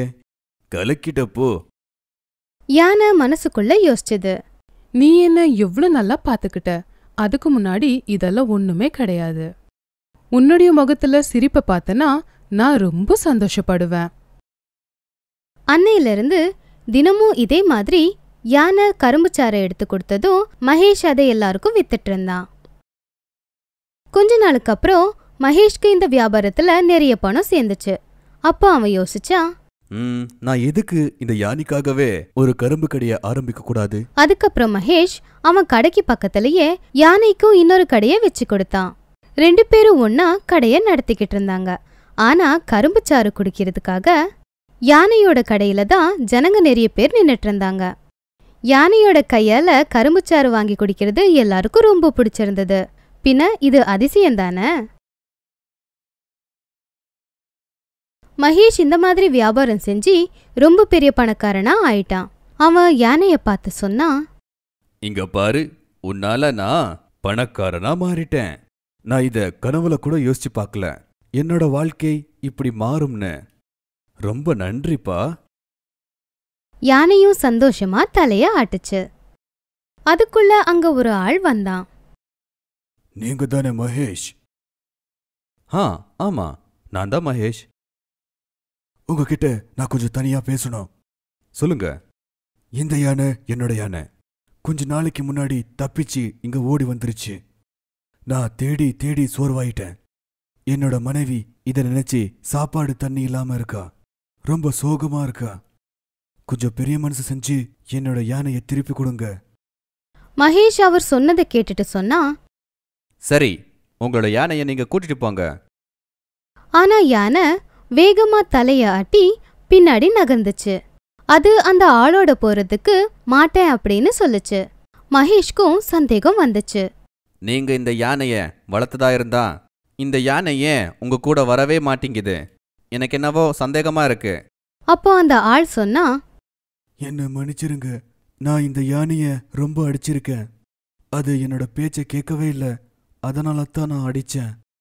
அதுக்கப்புறம் அந்த யானை வீட்டை விட்டு ஓடிருச்சு. அதனால தான் பயப்படுது. இனிமே இந்த மாதிரியெல்லாம் பண்ணவே மாட்டேன்.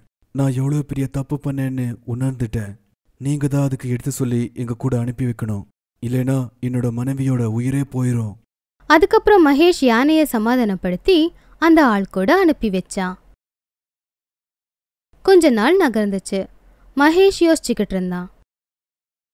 அந்த யானை நல்லபடியா தானே இருக்கும்? அதை நான் மறுபடியும் பார்க்கணும்னு தோணுதே. பார்த்து ரொம்ப நாளாச்சு. அப்புறம் மகேஷ் யானைய பார்க்க கிளம்பி போனான் ஆனா இது என்ன? அந்த ஆளு யானைய ரொம்ப வேகமா அடிச்சுக்கிட்டு இருந்தான். யானை வலி தாங்க முடியாம அழுதுகிட்டு இருந்துச்சு. என்னை விட்டுடு. நான் என் முதலாளிகிட்டயே போயிடுறேன்? என்னை விட்டுடு. அடிக்காத. ஆனா அந்த ஆள் அத அடிச்சுக்கிட்டே இருந்தான். நான் உன்னை இங்க மகாராணி மாதிரி இருக்கிறதுக்கு கூட்டிக்கிட்டு வரல. நீ அவனுக்கு உதவி பண்ண மாதிரி எனக்கும் கூட உதவி பண்ணணும் அதுக்கு தான் உன்னை கூப்பிட்டுக்கிட்டு வந்தேன். சாப்பிட்டு சாப்பிட்டு நல்லா குண்டா இருக்க எனக்கு உதவி பண்ணா நீ என்ன தேஞ்சிருவியா? அந்த மகேஷ் கிட்ட நான் எவ்வளோ பொய் சொன்னேன். நான் பண்ண எல்லா முயற்சியும் உன்னால தண்ணி ஆயிருச்சு இது எல்லாத்தையும் பார்த்து மகேஷ் ரொம்ப கோவப்பட்டான். எவ்வளோ பெரிய துரோகிடா நீ. பொய் சொல்லி இந்த யானைய கூட்டிக்கிட்டு வந்ததும் இல்லாம இந்த யானைய அடிச்சுக்கிட்டே இருக்கியா? சீ உனக்கு வெக்கமா இல்ல? அதுக்கப்புறம் மகேஷ் அந்த ஆளை அடிக்க ஆரம்பிச்சான். அதுக்குள்ள அங்க அவனுடைய மனைவி வந்தா. மன்னிச்சிடுங்க. உங்களுக்கு வேணும்னா அந்த யானையை இங்கிருந்து கூட்டிட்டு போயிடுங்க. என் புருஷனை அடிக்காதீங்க. மறுபடியும் அடிச்சா அவரு இறந்து போயிடுவாரு. மகேஷ் அவனுடைய பொண்டாட்டி சொன்னதை கேட்டு யானைய அவனுடைய வீட்டுக்கு கூட்டிட்டு போயிட்டான். அப்போ அந்த ஆளுக்கு ரொம்ப கோவம் வந்துருச்சு. என்னையே அடிச்சிட்டான். என்னோட பொண்டாட்டிக்கு முன்னாடி என்ன அவமானப்படுத்திட்டான். அவனையும் அந்த யானையும் நான் சும்மாவே விட மாட்டேன் ஏங்க விட்டு தொலைங்க இதெல்லாம்? இப்ப அதை கொன்னுட்டா உங்களுக்கு என்ன கிடைக்கும்? பாவத்தை தவிர. சரி சரி. நான் ஒண்ணுமே பண்ண மாட்டேன். நீ உள்ள போ. அன்னிக்கு சாயங்காலம் அவன் யோசிச்சுக்கிட்டு இருந்தான். நான் அந்த ரெண்டு பேரை சும்மாவே விட மாட்டேன் என் வீட்டுக்கு வந்து என்னையே அடிச்சிட்டான். அதை என்னால மறக்கவே முடியல. அன்னைக்கு நைட்டு அவன் கோவமா மகேஷோட வீட்டுக்கு போனான் பாவம் யானை அழுதுகிட்டே அதோட குழந்தைகிட்ட பேசிக்கிட்டு இருந்துச்சு. பாப்பா உனக்கு அடி ஏதும் பற்றலையே? என்ன மன்னிச்சிடு. என்னால தான் உனக்கு இவ்ளோ கஷ்டம் வந்துச்சு. ஆனா இப்போ நாம நம்ம வீட்டுக்கு வந்துட்டோம். இனிமே நாம எதுக்கும் பயப்பட வேண்டியதில்ல. அந்த ஆளு யானைய பார்த்து கொல்லணும்னு முடிவு பண்ணான் அவன் ஒரு பெரிய வாளை எடுத்து யானையோட வயித்துல குத்திட்டான். அப்ப யானை வலியில சத்தமா கத்த ஆரம்பிச்சுது. அந்த ஆளு பயந்து போய் ஓட ஆரம்பிச்சான். அவன் அங்கிருந்த மரத்துக்கு பின்னாடி ஒளிஞ்சுக்கிட்டான். யானையோட அலறல் சத்தம் கேட்டு மகேஷ் அங்க வந்தான். என்னாச்சு உனக்கு? யார் இதெல்லாம் பண்ணது? யாரு? யாரது? அப்போ அந்த ஆள் சொன்னா வா வாடா. உனக்காகத்தான் எதிர்பார்த்துக்கிட்டே இருந்தேன். உன்னையும் இதே மாதிரி கொல்ல போறேன். அதுக்கப்புறம் அங்கிருந்து மகேஷை கொல்றதுக்காக ஓடி வந்தான். அதுக்குள்ள ஒரு பெரிய பாம்பு அவனை கொத்திடுச்சு. பாம்பு கொத்துனதுனால அந்த ஆளு கீழே விழுந்துட்டான். மகேஷ் அவனை பார்த்து அட என்ன இது? நீ எப்படி இங்க? அப்படியா? இதுக்கெல்லாம் காரணம் நீதானா? உனக்கு என்னாச்சு? அப்போ மகேஷ் அந்த பாம்பை பார்த்தான். அட இந்த பாம்பு என்ன பண்ணி வச்சிருக்கு? யானைய கொல்ல வந்த உனக்கு இந்த பாம்பால உன்னோட உயிரே போயிருச்சா? அந்த பக்கம் யானை தன்னோட உயிருக்கு போராடிக்கிட்டு நண்பா நீ இத்தனை நாள் என்ன ரொம்ப நல்லா பாத்துக்கிட்ட என்ன காப்பாத்துன. நான் உன் கூட இருக்கிற வரைக்கும் ரொம்ப சந்தோஷமா இருந்தேன். நான் போறேன்.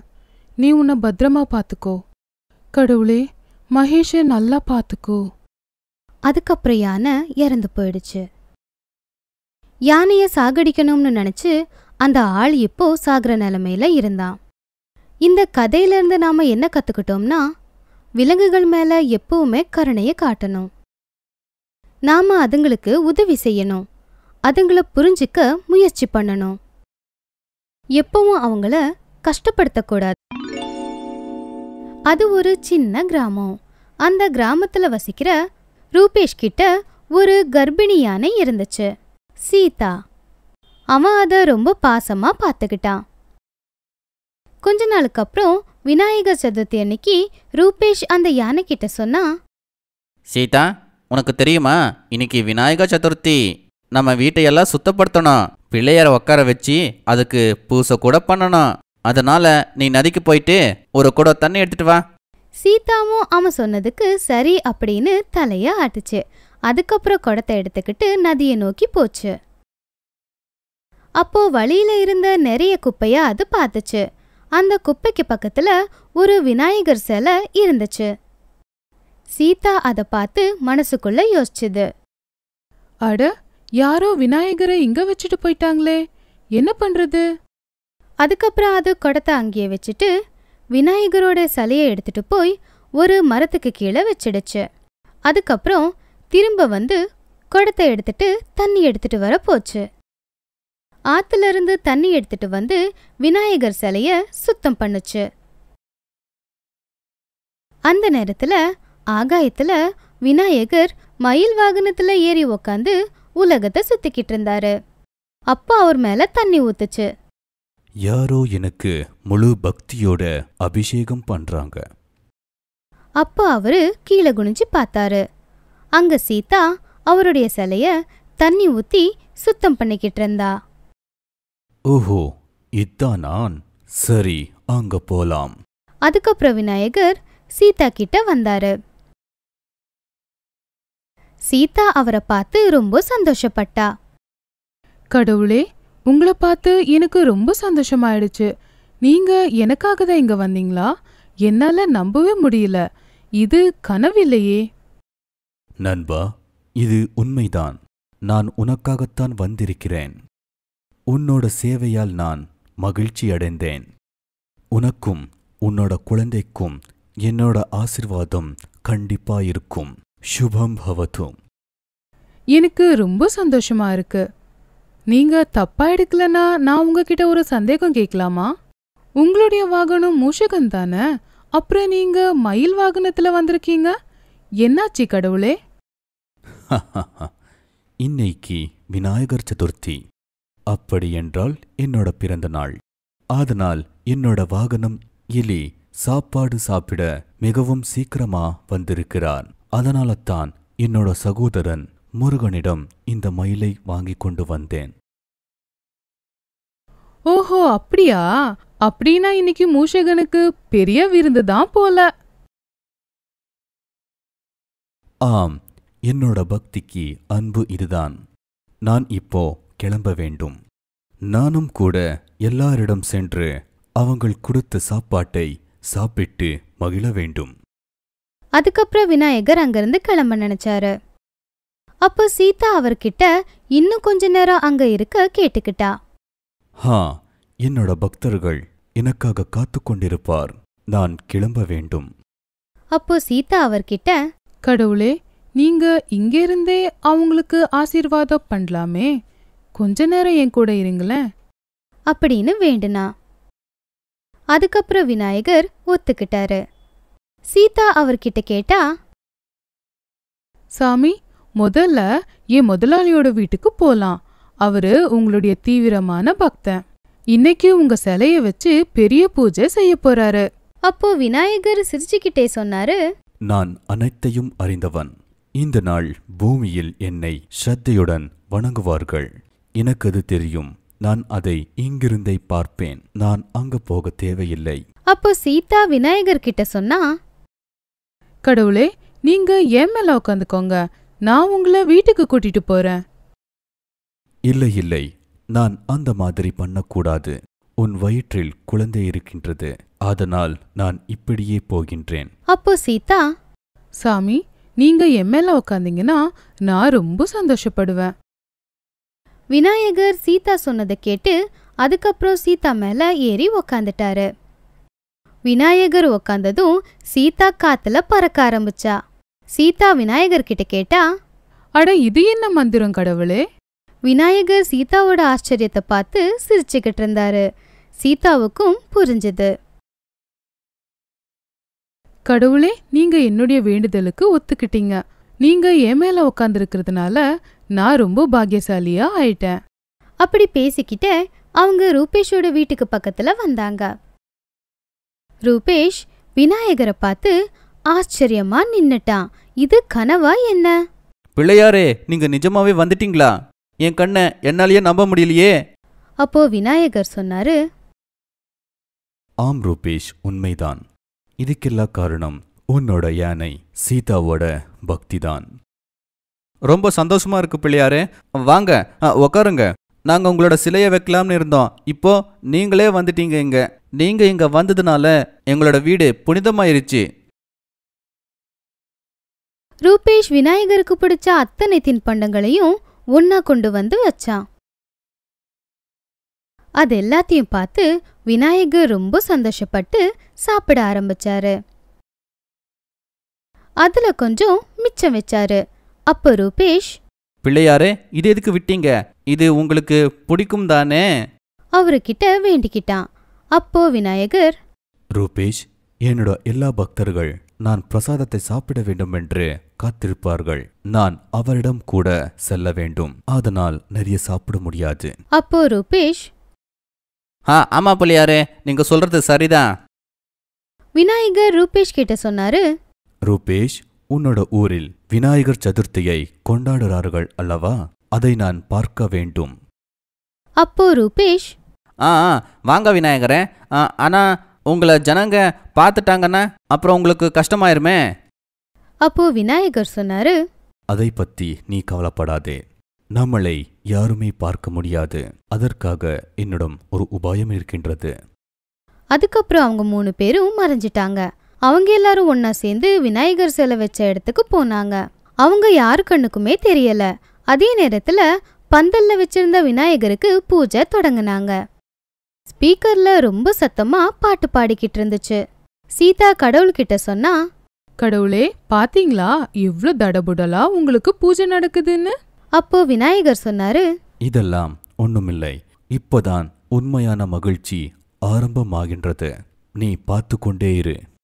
அதுக்குள்ள ஒரு ஆள் அங்க வந்து அட ரொம்ப நேரமா பிள்ளையார் பாட்டை போட்டுக்கிட்டே இருக்கோம். கொஞ்ச நேரம். பிள்ளையாருக்கு ஓய்வு கொடுத்துட்டு நாம சினிமா பாட்டை போடலாம்.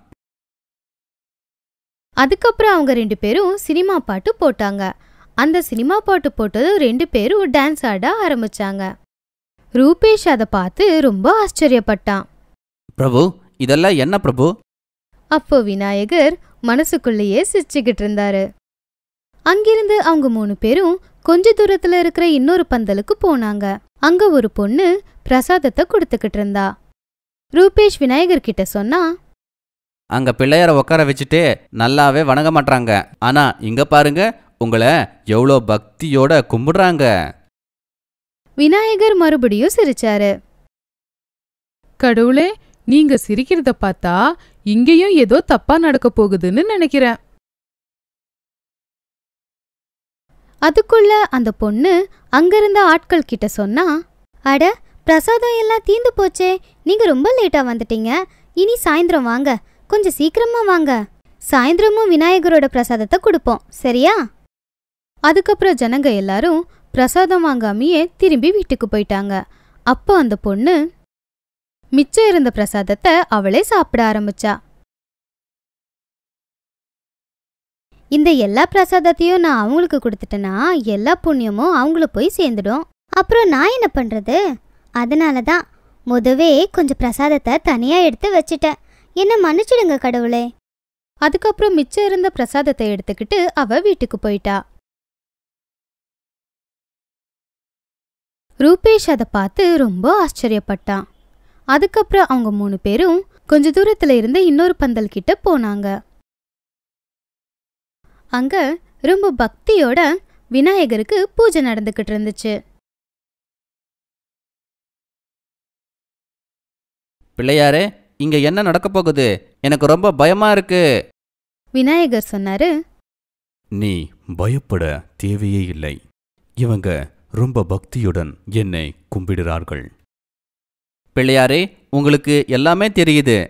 உங்களை முழு மனசு இல்லாம கும்பிடுறாங்க இல்லையா? அதை பார்த்து உங்களுக்கு கோபம் வரவே வராதா?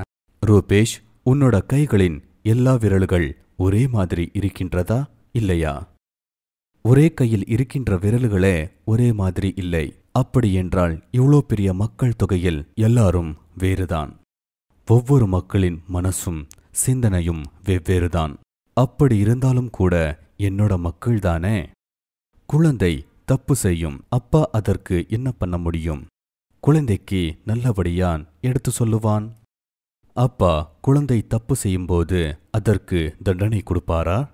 அதே மாதிரிதான் நான் கூட என்னோட குழந்தைகளுக்கு என்னோட பக்தர்கள் தப்பு செஞ்சாலும் அவங்கள நல்லபடியாய் மாத்துவேன். அவங்களே தன் தப்பை உணர்ந்து நல்ல மனிதரா மாறுவார். அதற்காக சமயம் முக்கியம். தப்பை செய்வர் ஒரு நாள் இல்லையென்றால் ஒரு நாள் கண்டிப்பாக மாட்டுவார் அப்படியே திருந்துவார். ரூபேஷ் ரொம்ப பக்தியோட விநாயகரை கைகோப்பி கும்பிட்டான். சரி ரூபேஷ் நான் இப்பொழுது கிளம்ப வேண்டும். உங்களிடம் சொல்ல வேண்டியதை நான் சொல்லிட்டேன். என்னோட விக்கிரகத்தை கும்பிடுவோர் பூசை பண்ணுவோர் வெறும் மண்ணால் செஞ்ச என்னோட உருவத்தை கொண்டு வாருங்கள். அதனால் இயற்கைக்கு ஆபத்து வராது தண்ணியும் கூட காப்பாற்றப்படும். அப்படியே என்னை ஆற்றில் விடும்போது என்னோட மக்கள் ரொம்பவும் கவனமாக இருக்க வேண்டும். சொன்னது புரியுதா? என்னோட மக்கள் சந்தோஷமாக இருந்தால் எனக்கும் கூட ரொம்ப சந்தோஷம்தான். அதுக்கப்புறம் மயில் வாகனத்துல ஏறி உக்காந்து விநாயகர் ஆகாயத்துல பறந்து போனாரு. ரூபேஷ் அப்புறம் சீதா விநாயகரை வழி அனுப்பிட்டு அவங்க வீட்டுக்கு போனாங்க. விநாயகர் சொன்னதெல்லாம் உங்களுக்கு ஞாபகம் இருக்கா? நாம எல்லாரும் சுற்றுச்சூழலை பாதுகாக்கணும். நாம மண்ணுல செஞ்ச விநாயகர் சிலைய வச்சுதான் கும்பிடணும்.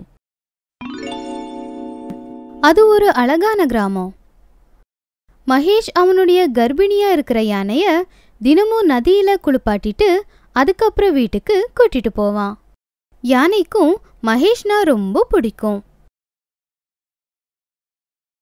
மகேஷ் அவனுடைய அன்றாட வாழ்க்கைக்காக காய்கறி வித்துக்கிட்டு இருந்தான். காய்கறிமா காய்கறி. ஃப்ரெஷ்ஷான காய்கறி. வாங்கலையா? காய்கறி காய்கறி. அவன் கிராமத்துல தெரு தெருவா போய் காய்கறி வித்துக்கிட்டு இருந்தான். யானையும் காய்கறி வண்டியை தள்ளுறதுக்கு அவனுக்கு உதவி செஞ்சுக்கிட்டு இருந்துச்சு. ஒரு நாள் மகேஷ் யானைக்கு சாப்பாடு கொடுக்கறதுக்கு போனப்போ அப்போ அவன் பார்த்தா யானை ரொம்ப சோர்வா இருந்துச்சு. என்னாச்சு? இன்னைக்கு ரொம்ப சோர்வா தெரியுற? சாப்பாடு கூட சாப்பிடல. என்னாச்சு? பாரு நீ இப்படியே பண்ணிக்கிட்டே இருந்தா உன்னோட குழந்தைக்கு நல்ல சத்து கிடைக்கவே கிடைக்காது. ஆனா யானை சாப்பிடவே இல்லை. உன்னை டாக்டர் கிட்ட கண்டிப்பா கூட்டிக்கிட்டு போனோம் அதுக்கப்புறம் மகேஷ் அதை வெட்னரி ஹாஸ்பிட்டலுக்கு கூட்டிட்டு போனான் அப்போ வழியில ஒரு கார் ரொம்ப வேகமா வந்துகிட்டு இருந்துச்சு. ஒருவேளை அவன் குடிச்சிருப்பான்னு தெரியுது. ஏன்னா வண்டி தடுமாறிக்கிட்டு இருந்துச்சு. வண்டி அந்த பக்கம் இந்த பக்கம் போய்கிட்டு இருந்துச்சு. மகேஷ் வண்டிய கவனிக்கவே இல்ல. அவன் யானைய பத்தி நினைச்சுக்கிட்டு போய்கிட்டு இருந்தான். ஆனா யானை வேகமா வந்த காரை பாத்துருச்சு. அட மகேஷ் இத கவனிக்கவே இல்லையே. அதுக்கப்புறம் அது வேகமா போய் அதோட தும்பிக்கையால மகேஷை தள்ளி விட்டுருச்சு மகேஷ் தூரமா போய் விழுந்துட்டான். ஆனா அதுக்குள்ள அந்த கார் யானை மேல மோதிருச்சு. கார் ஓட்டிக்கிட்டு இருந்தவன் அதே இடத்துல செத்து போயிட்டான். மகேஷ் சமாளிச்சு எழுந்திருச்சு காருக்கு பக்கத்துல வந்து பார்த்தான். ஐயோயோ இவங்க செத்துட்டாங்க. அதுக்கப்புறம் அவன் பார்த்தா யானையோட கால்ல ரொம்ப பெரிய அடிபட்டு இருந்துச்சு பாவம் யானை அழுதுகிட்டு இருந்துச்சு அட கடவுளே என் குழந்தை நல்லா இருப்பான்ல? என் வயித்துல ரொம்ப பெரிய அடிபட்டிருக்கு. என்னால வலி தாங்க முடியல. ஆ என்னால எழுந்திருச்சு கூட நிக்க முடியலையே. அத பார்த்ததும் மகேஷ் ரொம்ப வருத்தப்பட்டான். அட கடவுளே இப்போ என்ன பண்றது? அதுக்கப்புறம் அத வேகமா ஆம்புலன்ஸ்ல ஹாஸ்பிட்டலுக்கு கூட்டிட்டு போனான். டாக்டர் யானைய தடவி கொடுத்து சமாதானப்படுத்தினாங்க. மகேஷ் ரொம்ப கவலைப்பட்டு டாக்டர் கிட்ட கேட்டான். டாக்டர் யானைக்கு ஒன்றும் ஆகலை இல்லை? ஏன்னா அது கர்ப்பமாக இருக்கு. ஹாஹா அம்மா புள்ள ரெண்டு பேருமே நல்லதா இருக்காங்க. ஆனா யானையோட காலை வெட்ட வேண்டியிருக்கும். என்ன? காலை வெட்டணுமா? அப்படி பண்ணா அது எப்படி நடக்கும்? வேற ஏதாச்சும் வழி இருந்தா சொல்லுங்க. வேற வழி எதுவும் இல்லை மகேஷ். ஒருவேளை காலை வெட்டலனா ரொம்ப இன்ஃபெக்ஷன் ஆயிடும். அப்புறம் அதனால யானையோட உயிர் கூட போகலாம். சரி டாக்டர். நீங்க சொன்ன மாதிரியே பண்ணிருங்க. டாக்டர் யானையோட காலை வெட்டிட்டாங்க. கொஞ்ச நாள் ஹாஸ்பிட்டல்ல இருந்ததுக்கு அப்புறம் யானை வீட்டுக்கு திரும்ப வந்துச்சு. என்ன மன்னிச்சிருப்பா. அன்னைக்கு நான் கவனமாவே இல்லை. நான் அன்னைக்கு சரியா இருந்திருந்தா இந்த மாதிரியெல்லாம் உனக்கு ஆயிருக்கவே ஆயிருக்காது. நீ என்ன காப்பாத்த உன்னோட காலையே எழுந்துட்டேன். யானை அவனோட கவலைய பார்த்து அட நீ கவலைப்படாத. எனக்கு ஒண்ணுமே நடக்கல. என் குழந்தையும் நல்லா தான் இருக்கு. இதுதான் எனக்கு ரொம்ப சந்தோஷமான விஷயம். என்னால நடக்க முடியாது. அவ்வளோதானே பரவாயில்ல விடு. மகேஷ் யானைய பத்தி நினைச்சு கவலைப்பட்டுக்கிட்டு இருந்தான். அவன் அடுத்த நாள் ஹாஸ்பிட்டலுக்கு போயிட்டு டாக்டர் கிட்ட கேட்டான். டாக்டர் என்னோட யானைக்கு ஒரு காலை போடலாமா? ஏதாச்சும் ஒரு வழி சொல்லுங்க. இல்ல அந்த மாதிரி எந்த வழியும் இல்ல. ஏன் டாக்டர்? மனுஷங்களுக்கு கை காலெல்லாம் போச்சுன்னா ஆர்டிஃபிஷியலாக ஒரு கால் போடுறாங்க இல்லையா? அந்த மாதிரி ஏதாச்சும் இருக்கா? மகேஷ் யானைக்கும் அந்த மாதிரி கால் வர வைக்க முடியும். ஆனா அதுக்கு ரொம்ப செலவாகும் தெரியுமா? டாக்டர் அஹ், நீங்க காசை பற்றியெல்லாம் கவலைப்படாதீங்க. தயவு செஞ்சு என்னோட யானைக்கு ஒரு காலை உருவாக்குங்க. அதனால என்னோட யானை நடக்கணும். என் கூடவே காய்கறி விற்க வரும். அப்பதான் என்னோட மனசுக்கு சாந்தி கிடைக்கும். மகேஷ் அழ ஆரம்பிச்சான். மகேஷ் யானை மேல நீ வச்சிருக்கிற பாசத்தை பார்த்து எனக்கு ரொம்ப சந்தோஷமா இருக்கு சரி நான் என்னால என்ன முடியுமோ அதை கண்டிப்பா செய்றேன். நீ பணத்துக்கு ஏற்பாடு பண்ணு. ரொம்ப நன்றி. நான் காசை ஏற்பாடு பண்ணிக்கிட்டு உங்களை நான் சந்திக்கிறேன். மகேஷ் வீட்டுக்கு வந்து யானை கிட்ட சொன்னான் இங்க பாரு நான் இப்பதான் டாக்டர் கிட்ட பேசிட்டு வந்தேன். உனக்கு கட்டக்கால் போட போறாங்க. அதுக்கப்புறம் நீ நடக்கலாம். யானை அழுதுகிட்டே ஒருவேளை இது உண்மைன்னா என்ன மாதிரி பாக்கியசாலி யாரும் இருக்க மாட்டாங்க. நீ என்ன எவ்ளோ நல்லா பாத்துக்கிற? நீ இங்கேயே இரு. ரொம்ப ஜாக்கிரதையா இரு. நான் வேலை பார்க்க வெளியே போறேன். மகேஷ் அவனுடைய நண்பன் பஜ்ரங்கிய பார்க்கறதுக்காக போனான் நண்பா எனக்கு காசு தேவைப்படுது. என்ன ஆச்சுப்பா எதுக்கு காசு தேவைப்படுது? அப்போ மகேஷ் அவன்கிட்ட நடந்த எல்லாத்தையும் சொன்னான் பஜ்ரங்கி அவன் சொன்னதை கேட்டு இங்க மனுஷனுக்கு சாப்பிட இருக்கிறதுக்கு வழியே இல்ல. நீ அந்த யானைக்கு கட்டைக்கால் போடுறதுக்கு கிளம்பிட்டியா? இதெல்லாம் உனக்கு தேவையா? வேலைய பாரு போ. அப்படின்னு சொன்னான் மகேஷ் ரொம்ப வருத்தத்தோட சரி நண்பா உன்னால முடியலன்னா சொல்லிரு. அதுக்காக என்னோட யானையெல்லாம் அப்படி நீ திட்டாதப்பா. எனக்கு பிடிக்காது. அந்த யானையால தான் நான் இப்போ உயிரோடவே இருக்கேன். அதுக்கப்புறம் மகேஷ் இன்னொரு நண்பன் வீட்டுக்கு போனான் அட உனக்கு என்ன பைத்தியமா? முதல்ல நீ வீட்டை கொஞ்சம் பாரு. அதை விட்டுட்டு நீ போய் யானைக்கெல்லாம் செலவு பண்ற? மகேஷ் நிறைய பேர்கிட்ட பண உதவி கேட்டான் ஆனா யாருமே கொடுக்கல. அங்க யானை அவனுக்காக காத்துக்கிட்டு இருந்துச்சு. மகேஷ் ரொம்ப சோர்வா வீட்டுக்கு வந்தான் என்னை மன்னிச்சிரு. நான் உனக்காக ஒன்றுமே பண்ண முடியல. பணத்தை ஏற்பாடு பண்ணுறதுக்கு போனேன் ஆனால் யாருமே உதவி பண்ணலை. அவன் ரொம்ப கவலைப்பட்டான். அட நீ ஏன் கவலைப்படுற? ஏன் கால் தானே போச்சு? நான் உயிரோட தானே இருக்கேன். அது உனக்கு போதாதா? எனக்காக நீ ரொம்ப கவலைப்படாத. மகேஷ் அன்னைக்கு நைட்டு யானைக்கு பக்கத்திலேயே இருந்தான். அப்போ அவனுக்கு ஞாபகம் வந்துச்சு. அட நான் எதுக்கு இப்போ இவ்வளோ கவலைப்படணும்? என்னோட வீட்டை விற்று வர காசால யானைக்கு கட்டைக்கால் நான் வாங்குறேன். அடுத்த நாள் மகேஷ் வீட்டை வித்துட்டான். கிராமத்தோட ஜமீன்தார் அவனுடைய வீட்டை வாங்கி அவனுக்கு பணத்தை கொடுத்தாரு. மகேஷ் உடனே யானையை கூப்பிட்டுக்கிட்டு ஹாஸ்பிட்டல் போனான். டாக்டரும் மகேஷ் கிட்ட சரி நான் சிட்டியில் இருக்கிற டாக்டர்ஸ் கிட்ட பேசுகிறேன் எவ்வளோ சீக்கிரம் முடியுமோ அவ்வளோ சீக்கிரம் நாம யானைக்கு கால் வச்சிடலாம். கொஞ்ச நாளுக்கு அப்புறம் சிட்டில இருந்து வந்த டாக்டர் யானைக்கு செயற்கை காலை வச்சாங்க. அதுக்கப்புறம் மகேஷ் கிட்ட சொன்னாங்க நாங்க ரொம்ப முயற்சி பண்ணி யானைக்கு கட்டைக்கால் போட்டாச்சு. இப்போ அதை நல்லபடியா பாத்துக்கிறது உன்னோட வேலைப்பா. அதுக்கு நல்லா சாப்பாடு கொடுங்க. நடக்கிறதுக்கு கொஞ்சம் பயிற்சியை கொடுங்க. அதுக்கப்புறம் கடவுள் பார்த்துப்பார். மகேஷ் அவங்களுக்கு நன்றின்னு சொன்னான் டாக்டர் என்ன சொன்னாருன்னு உனக்கு ஞாபகம் இருக்குல்ல மகேஷ்? நீ அதை ரொம்ப நல்லா கவனிச்சுக்கணும். அதுக்கப்புறம் அவங்க கிளம்பிட்டாங்க. மகேஷ் யானையை கூப்பிட்டுக்கிட்டு வீட்டுக்கு வந்தான். அதுக்கு நல்ல சாப்பாடு கொடுத்தான்.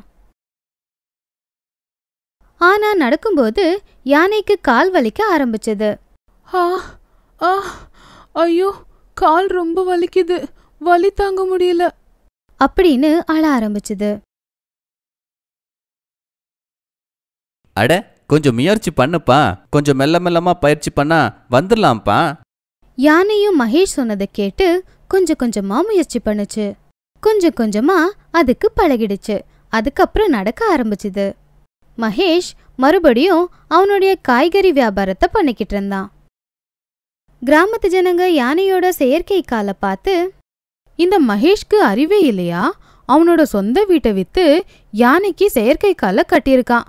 இப்போ ஒரு சின்ன வீட்டில் வாழ்ந்துக்கிட்டு இருக்கான். சில பேர் அவனை பாராட்டினாங்க. ஆனால் சில பேர் மகேஷ் இந்த யானை உன்கிட்ட கேட்டுச்சா? எனக்கு கால் வச்சு விடுன்னு? உனக்கு அறிவே இல்லையா? வீட்டை விற்று அதுக்கு மருத்துவம் பார்த்துருக்க? மகேஷ் அவங்க கிட்ட சொன்னா யார் என்ன சொன்னாலும் அதை பற்றி நான் கவலையே பட மாட்டேன். நான் செத்ததுக்கப்புறம் என்னை யாருமே யோசிச்சு கூட பார்க்க மாட்டாங்க. ஆனா இன்னைக்கு நான் உங்க முன்னாடி நிக்கிறேனா? அதுக்கெல்லாம் காரணம் இந்த யானை மட்டும்தான். அதான் என்னோட உயிரையே காப்பாத்துச்சு. அந்த நன்றியை நான் மறக்கவே மாட்டேன். அதுக்காக ஒரு சின்ன உதவி மட்டும்தான் நான் பண்ணியிருக்கேன் அதுக்கு. மகேஷ் சொன்னதை கேட்டதும் யானைக்கு ரொம்ப சந்தோஷமாயிடுச்சு. அது மனசுக்குள்ள யோசிச்சது நண்பா நீ எவ்ளோ நல்லவன். உன்ன மாதிரி ஒரு நண்பன் கிடைச்சதுக்கு நான் ரொம்ப கொடுத்து வச்சிருக்கணும். கடவுளே அடுத்த ஜென்மத்துல நான் மகேஷ்க்கு குழந்தையா? அது ஒரு சின்ன கிராமம். அதுக்கு பக்கத்துல ஒரு சின்ன காடு இருந்துச்சு. அந்த காட்டுல நிறைய விலங்குகள் வாழ்ந்துகிட்டு இருந்துச்சு. ஒரு நாள் ஒரு கர்ப்பிணி யானை சாப்பாட்டுக்காக கிராமத்தை நோக்கி வந்துச்சு. அந்த யானை யாராவது எனக்கு சாப்பிட ஏதாவது கொடுங்க. காட்டுல எதுவும் சாப்பிட கிடைக்கல. எனக்கு ரொம்ப பசிக்குது. மனசுக்குள்ள அப்படி யோசிச்சுக்கிட்டு ஊரெல்லாம் சுத்திக்கிட்டு இருந்துச்சு. கிராமத்து ஜனங்க எல்லாரும் அதை பார்த்து அட இந்த யானைய நாம அடிச்சு துரத்தணும் இல்லனா எல்லாரையும் மிதிச்சு கொன்னுறோம். அவங்க எல்லாரும் குச்சியால அதை அடிச்சு அத காட்டுக்கே மறுபடியும் துரத்தி விட்டுட்டாங்க. பாவம் யானை. ஐயோ தாகம் எடுக்குது. தண்ணி தண்ணி. தண்ணியை தேடி அது போகும்போது அது ஒரு அடிப்பம்பை பார்த்துச்சு. யானை அதுல இருந்து தண்ணி எடுக்க பார்த்துச்சு. ஆனா அதுல தண்ணியே வரல. இப்போ என்ன பண்றது? அதுக்குள்ள அது பக்கத்துல இருந்த ஒரு கிணற பார்த்துச்சு. யானை கிணத்துக்கு பக்கத்துல போய் பார்த்துச்சு. ஆனா அந்த கிணத்துல தண்ணி ரொம்ப கீழே இருந்துச்சு. பாவம் அதை பார்த்து யானை சொல்லுச்சு இவ்வளோ துரதிருஷ்டசாலினா? என்னோட குழந்தைக்கு என்னால சரியா சாப்பாடு கூட கொடுக்க முடியல. கடைசியில தண்ணி கூட கொடுக்க முடியல. என் வயித்துக்குள்ள இருக்கிறதுனால என் குழந்தை எவ்ளோ கஷ்டப்படுது? இந்த உலகத்துக்கு வந்ததுக்கு அப்புறம் அவன் இன்னும் எவ்ளோ கஷ்டப்படுவானோ? அவனால இதையெல்லாம் தாங்க முடியுமா? ஒருவேளை நான் செத்துட்டேனா அவனுக்கு எந்த பிரச்சனையும் வராது. அதுக்கப்புறம் அந்த யானை கிணத்துக்குள்ள குதிச்சிருச்சு. ஆனா இதென்ன யானை மறுபடியும் கிணத்துக்கு வெளியே வந்துருச்சு. யானை ரொம்ப ஆச்சரியமா? அட நான் வெளியே எப்படி வந்தேன்? அது மறுபடியும் கிணத்துக்குள்ள விழுந்துருச்சு. யானை மறுபடியும் கிணத்துல இருந்து வெளியே வந்துருச்சு. ஏன் இப்படி நடக்குது? எனக்கு ஒண்ணுமே புரியலையே. யானைக்கு ரொம்ப ஆச்சரியமா இருந்துச்சு. அப்போ பின்னாடி இருந்து ஒரு சாமியார் சிரிக்கிற சத்தம் கேட்டுச்சு. நான் தான் உன்னை காப்பாத்தினேன். ஆனா நீ எதுக்கு சாக போற? அப்போ யானை அழுதுகிட்டே முனிவரே நீங்க என்னை ஏன் காப்பாத்துனீங்க? என்னால என் குழந்தைக்கு கொஞ்சம் கூட சாப்பாடே கொடுக்க முடியல. அவன் எவ்வளோ கஷ்டப்படுறான்னு தெரியுமா? சாப்பாட்டுக்காக கிராமத்தை தேடி போனா அங்க இருக்கிறவங்களும் என்னை தொருத்தி அனுப்பிட்டாங்க. அவங்க எல்லாரும் சேர்ந்து என்னை ரொம்ப அடிச்சிட்டாங்க. ஏற்கனவே பசியும் பட்னியுமா இருக்க. அவங்க அடிச்ச அந்த வலியை என்னால தாங்கவே முடியல. உடம்பெல்லாம் வலிக்குது. இப்ப சொல்லுங்க நான் உயிரோட எப்படி இருக்க முடியும்? அப்போ முனிவர் நீ கர்ப்பமா இருக்க. உன்னோட குழந்தைய கொல்ற அதிகாரம் உனக்கு இல்லவே இல்லை. தற்கொலை பெரிய பாவம். இந்த கிராமத்து ஜனங்க உனக்கு தொந்தரவு கொடுக்குறாங்களா? அவங்களுக்கு பசி என்றால் என்னன்னு நான் காட்டுறேன். அதே மாதிரி தாகத்துக்கு தண்ணி கிடைக்கலனா என்ன ஆகும்னு நான் காட்டுறேன். உன்னை இப்படி பண்ணதுனால இந்த கிராமத்துக்கு சாபம் கொடுக்குறேன். இந்த கிராமத்தோட நதி கிணறு ஏறியெல்லாம் வரண்டும். வறண்டும் எந்த கையால உன்னை அடிச்சாங்களோ அவங்களே வந்து உனக்கு சாப்பாடு தருவாங்க.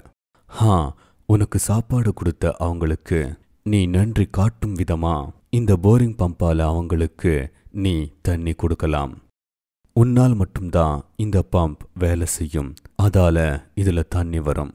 வேற யாரும் கூட எவ்வளவுதான் முயற்சி பண்ணாலும் தண்ணி வரவே வராது. அப்படி சொல்லி முனிவர் அங்கிருந்து மறைஞ்சிட்டாரு. அவர் விட்ட சாபத்தினால கிராமத்துல இருந்த எல்லா ஆறும் குளங்களும் வத்தி போச்சு. கிராமத்து ஜனங்க தண்ணிக்காக ரொம்ப கஷ்டப்பட்டாங்க.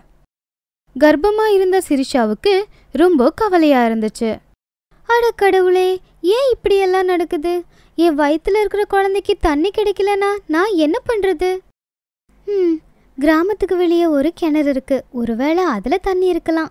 அதுக்கப்புறம் அவ அவளோட பையனை கூப்பிட்டுக்கிட்டு அங்க போனா. ஆனா கிணத்துல தண்ணி இருக்கல. அதுக்குள்ள அவளோட பார்வை அங்க இருந்த அடிப்பம்பு மேல விழுந்துச்சு. அவ முயற்சி பண்ணா ஆனா தண்ணி வரல.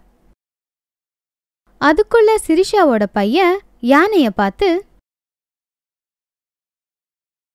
அவன் கையில வச்சிருந்த வாழைப்பழத்தை அதுக்கு கொடுத்தான். சிரிஷா அதை பார்த்து பயந்துட்டா.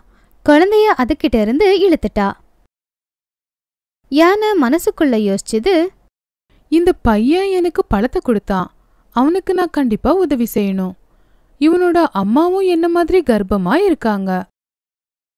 யானை பம்பு கிட்ட போய் குடத்தை எடுத்து வச்சு அடிக்க ஆரம்பிச்சது. அப்போ அதிலிருந்து தண்ணி வந்து குடம் ரொம்புச்சு. இத பார்த்து சிரிஷா ரொம்ப ஆச்சரியப்பட்டா. அட இதென்ன நான் அடிச்சப்போ தண்ணியே வரல? ஆனா யானை அடிச்சப்போ தண்ணி வந்து குடமே ரொம்பி போச்சே எப்படி முடியும்? அதுக்கப்புறம் அவ குடத்தை எடுத்துட்டு போனா. அப்போ கிராமத்து ஜனங்க சிரிஷா கிராமத்துல தண்ணியே இல்லையே. நீ எங்கிருந்து தண்ணி எடுத்துட்டு வர? அப்பா அவ அவங்க கிட்ட நடந்த எல்லாத்தையும் சொன்னா. அத கேட்டதும் சரளாவும் குடத்தை எடுத்துக்கிட்டு அங்க போனா. இங்க பாரு என் வீட்ல சின்ன சின்ன குழந்தைங்க இருக்காங்க. அவங்க தாகத்துல துடிக்கிறாங்க. நீ எனக்காக ஒரு குடம் தண்ணி தரியா?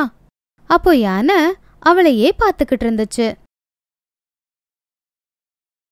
நான் உனக்கு சாப்பிட பழம் கொடுக்கறேன். அத கேட்டதும் யானை தலைய ஆட்டுச்சு. இரு நான் இப்பவே வீட்டுக்கு போய் உனக்காக பழத்தை எடுத்துட்டு வரேன். உடனே சரளா வீட்டுக்கு போய் யானைக்காக பழம் எடுத்துட்டு வந்தா. பழத்தை யானைக்கு கொடுத்தா. யானையும் அதுக்கு பதிலா பம்பு அடிச்சு அவளுக்கு தண்ணிய கொடுத்துச்சு. சரளா அதுக்கு நன்றி சொல்லி அங்கிருந்து கிளம்பிட்டா. கொஞ்சம் கொஞ்சமா இந்த பேச்சு கிராமத்து ஜனங்களுக்கெல்லாம் தெரிஞ்சுது. எல்லா ஜனங்களும் யானைக்கு சாப்பாடு கொடுத்துட்டு தண்ணியை எடுத்துட்டு போனாங்க. யானை மனசுக்குள்ள முனிவரே நீங்க சொன்னது உண்மையாயிடுச்சு. எல்லாரும் எனக்கு சாப்பாடு கொடுத்து தண்ணியை எடுத்துட்டு போயிட்டு இருக்காங்க இப்போ எனக்கு நிறைய சாப்பாடு கிடைக்குது. என் குழந்தையும் நல்லா இருக்கு. ஒருவேளை நீங்க வரலனா என் குழந்தையோட மரணத்துக்கு நான் தான் காரணமா இருப்பேன். நீங்க செஞ்ச இந்த உதவிய நான் எப்பவும் மறக்கவே மாட்டேன். அது அழ ஆரம்பிச்சது. கிராமத்து ஜனங்க அடிப்பம்புக்கு முன்னாடி வரிசையா நின்னாங்க. எல்லாரும் யானைக்கு ஏதாவது பழத்தை கொடுத்துட்டு தண்ணியை எடுத்துட்டு போயிட்டு இருந்தாங்க அதுக்குள்ள அங்க ஜமீன்தார் ஒருத்தர் வந்தாரு. பம்பு கிட்ட வச்சிருந்த குடத்தை தள்ளிவிட்டு அவருடைய குடத்தை வச்சாரு. ஏய் என்ன பாக்குற? தண்ணி அடிச்சு கொடு. சாப்பாடு கொடுக்காம நீ பம்ப் அடிக்க மாட்டியா? இந்த ஜனங்க எல்லாம் பைத்தியக்காரங்க. நீ பம்ப் அடிச்சா மட்டும்தான் தண்ணி வரும்னு நம்பிக்கிட்டே இருக்காங்க. நான் அடிச்சா கூட தண்ணி வருமே? இது கொஞ்சம் பழைய பம்பு. அதனால தான் முதல்ல கொஞ்சம் அதிகமா அடிக்க வேண்டிய வந்துச்சு. இதுல ஒன்றும் வித்தியாசம் இல்லையே. இது தெரியாம எல்லாருமே உனக்கு சாப்பாடு கொடுக்குறாங்க. ஜமீன்தார் நிறைய தடவை பம்ப் அடிச்சும் தண்ணி வரல. இத பார்த்து அங்கிருந்தவங்க எல்லாம் பெருசா வந்துட்டாரு பம்ப் அடிக்கிறதுக்கு. பாத்தீங்களா? ஹீரோ ஜீரோ ஆயிட்டாரு. எல்லாரும் அவரை கிண்டல் பண்ணி சிரிச்சிட்டு இருந்தாங்க. அப்போ யானை அவருடைய குடத்தை எடுத்து எரிஞ்சுது. அப்போ ஜனங்க எல்லாரும் இன்னும் சிரிக்க ஆரம்பிச்சாங்க. ஜமீன்தார் ரொம்ப அவமானப்பட்டு குடத்தை எடுத்துட்டு வீட்டுக்கு போயிட்டாரு. ரொம்ப கோவமா அந்த யானைக்கு எவ்வளோ திமிரு என்னோட குடத்தையே வீசிருச்சு. எல்லாரும் முன்னாடி எனக்கு ரொம்ப அவமானப்படுத்திருச்சு. என்னை பார்த்து வணக்கம் போட்டுக்கிட்டே இருந்தவங்க இன்னைக்கு என்னை பார்த்து சிரிக்கிறாங்க. ஹ எனக்கு ரொம்ப அவமானமாயிருச்சு. நான் சும்மா விட மாட்டேன். அந்த யானைய நான் ஏதாச்சும் பண்ணியே ஆகணும். அடுத்த நாள் மதியம் சில ஜனங்க யானை கையில தண்ணி வாங்கிட்டு இருந்தாங்க. அதுக்குள்ள தன்ராஜ் அங்க வந்து பெரிய குச்சியை எடுத்து யானையை அடிக்க ஆரம்பிச்சாரு. எவ்வளோ தைரியம் உனக்கு? என்னோட குடத்தையே தூக்கி வீசுறியா? எனக்கே நீ தண்ணி கொடுக்க மாட்றியா உன்னை விடவே மாட்டேன். செத்துப்போ செத்துப்போ அத ரொம்ப வேகமா அடிச்சாரு. பாவ யானை வலியில துடிக்க ஆரம்பிச்சது. கத்த ஆரம்பிச்சது. என்ன அடிக்காதீங்க. என் வயித்துல குழந்தை இருக்கு. அடிக்காதீங்க. ஐயோ கடவுளே நீங்க எங்க இருக்கீங்க? காப்பாத்துங்க. அப்போ அங்க இருந்த பத்மா ஐயா அத அடிக்காதீங்க. அது கர்ப்பமா இருக்கு. செத்துட போகுது. பத்மா சொன்னதை கேட்டதும் அவனுக்கு இன்னும் கோபம் அதிகமாயிடுச்சு. நான் என்ன பண்ணணும்னு நீ எனக்கு சொல்லித் தரியா ஆ? அவன் பத்மாவையும் அடிக்க ஆரம்பிச்சான். அப்ப பத்மாவும் அடிக்காதீங்க அடிக்காதீங்க அப்படின்னு சொல்லி அங்கிருந்து ஓடிட்டா. அவன் யானைக்கிட்ட வந்து சொன்னா உனக்கு எவ்வளோ தைரியம் இருந்தா எல்லாரும் முன்னாடி என்ன அவமானப்படுத்துவ? கொடுத்த அடி போதுமா? அதுக்கப்புறம் மறுபடியும் அடிச்சான். அப்புறம் அங்கிருந்து போயிட்டான். பாவம் யானை வலியில அழ ஆரம்பிச்சது. கடவுளே என்னை காப்பாத்து. வலியில உயிரே போகுது. கடவுளே என் வயித்துல குழந்தை இருக்கு. அதை எப்படியாச்சும் காப்பாத்துப்பா. ஐயோ. அப்போ சாமியார் அங்க தோன்றினாரு. அழாத நான் உன்னோட எல்லா கஷ்டத்தையும் பார்த்துட்டேன். ஜமீன்தார் ரொம்ப பெரிய பாவம் பண்ணிட்டான். அவ பண்ண பாவத்துக்கு தண்டனை கிடைக்கும். நீ கவலைப்படாத. உனக்கும் உன்னோட குழந்தைக்கும் ஒண்ணுமே ஆகாது. சாமியார் அவருடைய மந்திர சக்தியால யானையோட வலிய போக்கிட்டாரு. முனிவரே உங்களுக்கு ரொம்ப ரொம்ப நன்றி. நீங்க ஒரு தடவை என் உயிரை காப்பாத்துனீங்க. இப்போ என்னோட வலி எல்லாத்தையும் போக்கிட்டீங்க. நான் உங்க உதவிய மறக்கவே மாட்டேன். கவலைப்படாத. பணம் இருக்குன்னு சொல்லி அகங்காரம் பட்டா அவங்களுக்கு தண்டனை கண்டிப்பா கிடைக்கும். அந்த பக்கம் ஜமீன்தாரு என்னை யாராச்சும் அவமானப்படுத்தினீங்க? அவங்களுக்கு தண்டனை சாவுதான். அவங்களுக்கு சரியான ஒரு பாடம் புகட்டுவேன். அப்புறம் கோவமா அவன் அவனோட வீட்டுக்கு போனான். அப்போ அந்த காட்சியை பார்த்து ரொம்ப ஆச்சரியப்பட்டாரு. அப்படி அங்க என்ன இருந்துச்சு? அவர் ஏன் அவ்வளோ ஆச்சரியப்பட்டாரு? அடுத்து என்ன நடக்கும்? இத கதையோட அடுத்த பாகத்துல பார்க்கலாம். இந்த கதையோட முன்னாடி பாகத்துல நாம பார்த்தோம் ஜமீன்தார் தன்ராஜ் யானைய நல்லா அடிச்சிட்டு கோவத்துல அவரோட வீட்டுக்கு போனாரு. அப்பா அவரு பார்த்தாரு அவருடைய வீட்லயும் ஒரு பம்ப் இருந்துச்சு. அதை பார்த்து தேவி இந்த போரிங் பைப் இங்க எப்படி வந்துச்சு? அட இது என்ன? இது இங்க எப்படி? எனக்கு ஒண்ணுமே புரியல. கோவத்துல அவரு அத உடைக்கிறதுக்கு முயற்சி செஞ்சாரு. அதே நிமிஷத்துல அவருடைய தலையும் யானையோட தலை மாதிரி மாறிடுச்சு. அத பார்த்து அவருடைய மனைவி கத்த ஆரம்பிச்சா. இங்க கிராமத்து ஜனங்க தண்ணிக்காக அந்த இடத்துக்கு போனாங்க. ஆனா அங்க அந்த பம்ப் இருக்கல. அப்போ அந்த யானை ஜனங்க கிட்ட சொல்லுச்சு நீங்க எல்லாரும் ஜமீன்தார் வீட்டுக்கு போங்க. அந்த பம்ப் அவர்கிட்ட தான் இருக்கு. யானையோட பேச்சு கேட்டு அவங்க ஆச்சரியப்பட்டாங்க. இது என்ன? யானை பேசுது? நம்ம ஊர்ல இப்பெல்லாம் எப்ப பார்த்தாலும் வித்தியாசமாவே நடக்குது. திடீர்னு வறட்சி வந்துருச்சு. அதுக்கப்புறம் யானை மூலமா நமக்கு தண்ணி கிடைச்சது. இப்ப என்னன்னா யானை நம்ம கூட பேசிக்கிட்டு இருக்கு? இதுக்கப்புறம் என்னெல்லாம் நடக்க போகுதோ? ஆமா எனக்கும் பயமா தான் இருக்கு. இந்த யானை நம்ம ஊருக்கு வந்ததும் எல்லாரும் இத அடிச்சு விரட்டிட்டாங்க. ஆனா இப்ப தண்ணிக்காக அதுக்கே சாப்பாடு கொடுக்கறாங்க. என்னமோ போங்க. அதுக்கப்புறம் அவங்க ஜமீன்தார் வீட்டுக்கு போனாங்க. அவரை பார்த்து ஆச்சரியப்பட்டாங்க. ஏன்னா அவருடைய தலை இப்ப யானையோட தலை மாதிரி இருந்துச்சு. அதுக்கப்புறம் அவங்களுக்குள்ளேயே பேசிக்கிட்டாங்க. அடடா இவரு செஞ்ச பாவத்துக்கு இவருக்கு தண்டனை கிடைச்சிருக்கு போல. அந்த யானையை இவரு எவ்வளவு கஷ்டப்படுத்தினாரு. அப்போ ஜமீன்தார் அந்த பம்பை அடிக்க ஆரம்பிச்சாரு. அவருக்கு ஒண்ணுமே புரியல. அவரு கையில யார் இந்த வேலையை செய்ய வைக்கிறாங்கன்னு. அவனுடைய மனைவி தேவி இது எல்லாத்தையும் பார்த்து அழுதுகிட்டு இருந்தா.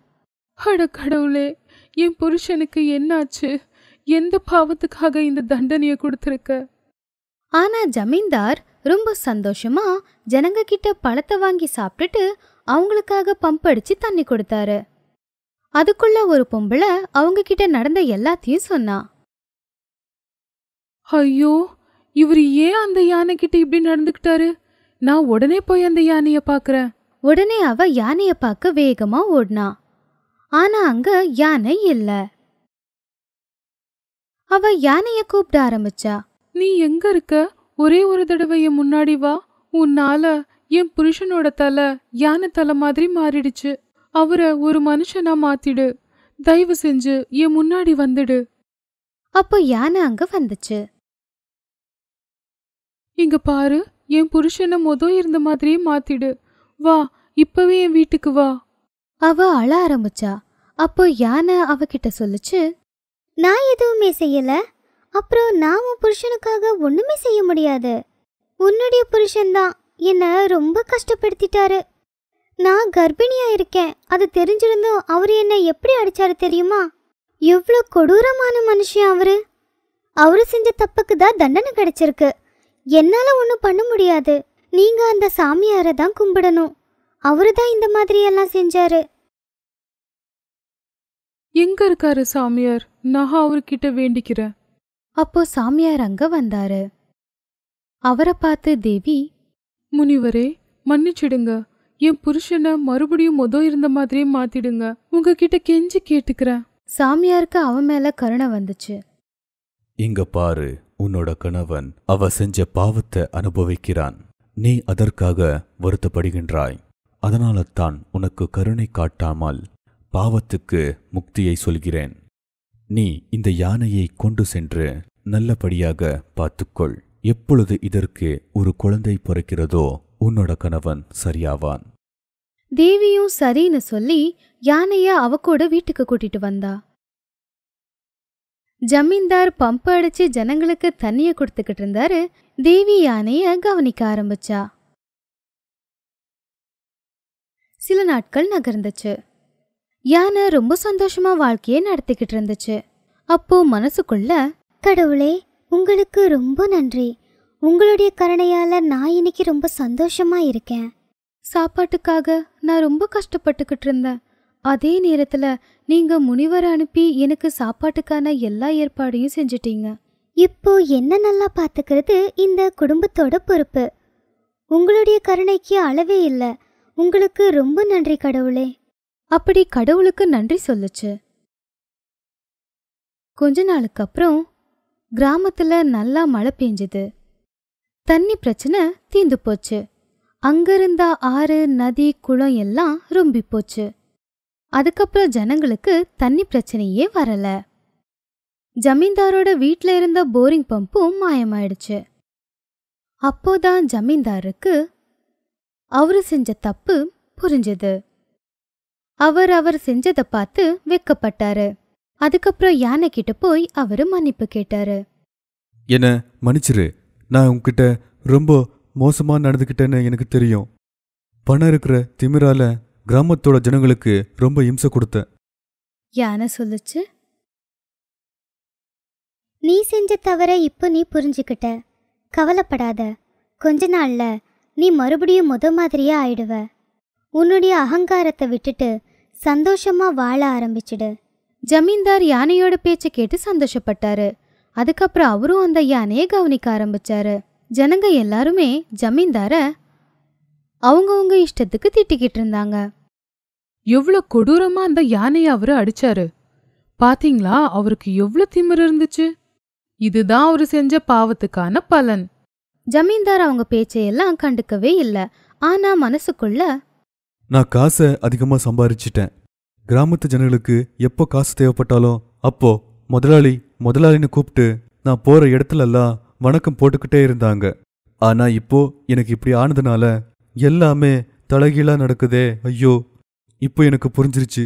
எல்லாருமே என்னோட பணத்துக்கு தான் வணக்கம் போட்டாங்க. யாருமே எனக்காக ஒன்றும் பண்ணவே இல்லை. ச்சே என்னை யாருமே மதிக்கவே இல்லையே. இப்போ நான் முடிவெடுத்துட்டேன் என்னோட மொத்த பணத்தையும் ஏழை மக்களுக்கு கொடுத்துடலாம். அதுக்கப்புறம் ஜமீன்தார் அவர்கிட்ட இருந்த எல்லா பணத்தையும் தங்க நகைகளையும் யானை மேல வச்சுட்டு போய் யானை கையாலேயே எல்லாருக்கும் உதவுனாரு. அதுக்கப்புறம் ஜனங்க எல்லாம் அவரை புகழ ஆரம்பிச்சாங்க. பாத்தியா ஜமீன்தார் எவ்வளவு நல்லவரு? எல்லாருக்கும் அவரு உதவி செய்றாரு. அந்த யானையால அவருக்குள்ள நிறைய மாற்றம் வந்திருக்கு. நிறைய பேருக்கு அவரு உதவி செஞ்சிருக்காரு. ஆனா சில பேர் இவரு எல்லா பாவத்தையும் செஞ்சிடுவாராம் அதுக்கப்புறம் நல்லவரா மாறிடுவாராம் இப்போ அவர்கிட்ட இருக்கிற எல்லா பணத்தையும் எல்லாருக்கும் கொடுத்துட்டா அவரு செஞ்ச பாவம் இல்லைன்னு ஆயிடுமா? இந்த மாதிரி எல்லாரும் பேசுறத கேட்டு ஜமீன்தார் எதுவும் சொல்லாம வீட்டுக்கு வந்துட்டாரு. அவரு மனசுக்குள்ள கவலைப்பட்டாரு. யானை அவரை சமாதானப்படுத்துச்சு. கவலைப்படாத. அவங்க பேசுறதையெல்லாம் கேட்காத. நீ இவ்வளோ தான தர்மம் செஞ்சதுக்கு அப்புறமும் அவங்க குறை சொல்றாங்கன்னா அவங்களுக்கு உன்னுடைய நல்ல மனசு தெரியல. உனக்கு நீ செஞ்ச தவறு புரிஞ்சிருக்கு. நீ உடனே உன்னை மாத்திக்கிட்ட.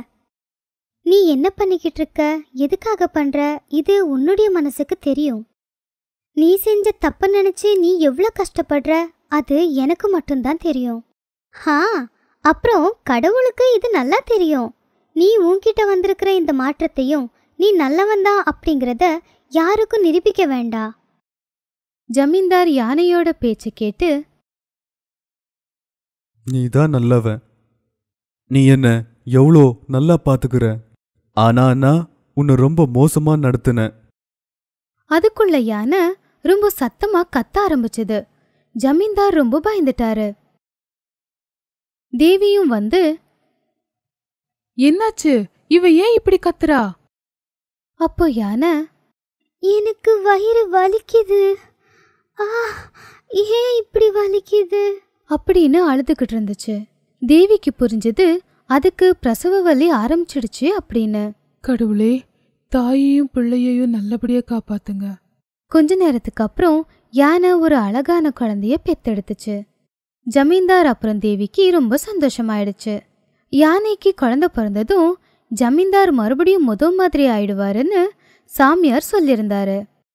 பாருங்க இனிமே நமக்கு எந்த பிரச்சனையும் இருக்காது. அவங்க எல்லாரும் ரொம்ப சந்தோஷப்பட்டாங்க. ஆனா ஜமீன்தார் சாதாரண மனுஷனா மாறவே இல்ல. தேவிக்கு ஒண்ணுமே புரியல.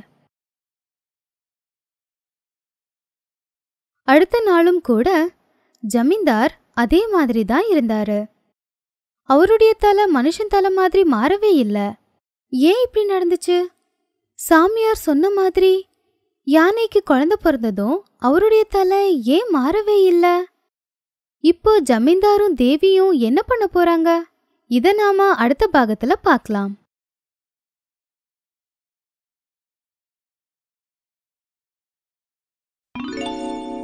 அது ஒரு சின்ன கிராமமா இருந்துச்சு. அந்த கிராமத்துல சந்தோஷி அவளுடைய வாழ்க்கைய தனியா தான் வாழ்ந்துகிட்டு இருந்தா. அவ கர்ப்பமா இருந்தா. கொஞ்ச நாளுக்கு முன்னாடி அவளுடைய வீட்டுக்காரர் இறந்து போனதுனால அவ அவளுடைய வாழ்க்கையில நிறைய கஷ்டங்களை சந்திச்சா. அட கடவுளே என் புருஷனை என்கிட்ட இருந்து பறிச்சுக்கிட்ட. இதுக்கப்புறம் நானும் என் குழந்தையும் தான் வாழணும். அவனுக்காக தான் நான் இந்த வாழ்க்கையை வாழ்கிறேன் அவனை நான் ஒரு பெரிய ஆளா ஆக்குவேன் அதை பார்த்து அவங்க அப்பாவோட ஆத்மா கூட ரொம்பவே சந்தோஷப்படும். சில நாட்கள் நகர்ந்துச்சு. ஒரு நாள் சந்தோஷி சமைக்கிறதுக்காக அரிசி மூட்டைய பார்த்தா. பார்த்தா அதுல ஒரே ஒரு புடி அரிசி தான் இருந்துச்சு. அட நான் நினச்சிக்கிட்டு தான் இருந்தேன். அரிசி காலியாக போகுதுன்னு. சந்தோஷி அரிசி வாங்குறதுக்காக வீடு முழுக்க பணம் இருக்கா அப்படின்னு தேடினா. பாவம் ஆனா பணம் எங்கேயும் இல்ல. அவ ரொம்ப கவலைப்பட்டா. அட இப்போ என்ன பண்ணுறது நான் ஏதாவது வேலை செஞ்சு தான் ஆகணும். வீட்டில் இருந்த கொஞ்ச நஞ்ச பணமும் காலியாக போயிடுச்சே. ஒருவேளை நான் சம்பாதிக்கலனா என்னால் என்னுடைய புள்ளைய கவனிச்சுக்க முடியாது. சந்தோஷி வேலை தேடுறதுக்காக வீட்டை விட்டு வெளியே போனா. ஒரு இடத்துல சில பேர் வீடு கட்டுற வேலைய பார்த்துக்கிட்டு இருந்தாங்க. சந்தோஷி அங்கிருந்த ஆள் ஒருத்தர்கிட்ட கேட்டா ஐயா எனக்கும் ஏதாச்சும் வேலை கொடுங்க ஐயா. நாலு காசு சம்பாதிச்சா நானும் ரெண்டு வேளை சாப்பாடு சாப்பிடுவேன். சரின்னு சொல்லி அந்த ஆளு அவளுக்கு வேலைய கொடுத்தான் அன்னைக்கு வேலை செஞ்சு சந்தோஷி கொஞ்சம் காசை சம்பாதிச்சா. சந்தோஷமா வீட்டுக்கு போனா. நாலு நாள் முடிஞ்சது. எடுத்துட்டு வந்த பணம் தீந்து போச்சு. அன்னைக்கு சம்பாதிச்ச காசுல எப்படியோ நாலு நாள் ஓடிடுச்சு. இப்போ மறுபடியும் வேலையை தேடணும். அவ வேலை தேடி கிளம்புனா. சில பேர் பெரிய பெரிய கட்டைங்களை தூக்கிட்டு போய்கிட்டு இருந்தாங்க. அதை பார்த்து சந்தோஷி அந்த ஆளுக்கிட்ட கேட்டா ஐயா ஏதாவது வேலை இருந்தா கொடுங்க. உங்களுக்கு புண்ணியமா போகும். அதுக்கு அந்த ஆளு சொன்னா இங்க பாருமா நீ கர்ப்பமா இருக்க. இவ்வளோ பாரமான மரத்தை உன்னால தூக்க முடியாதுமா? அப்புறம் உனக்கு ஏதாச்சும் ஆச்சுன்னா ஜனங்க என்னதான் திட்டுவாங்க?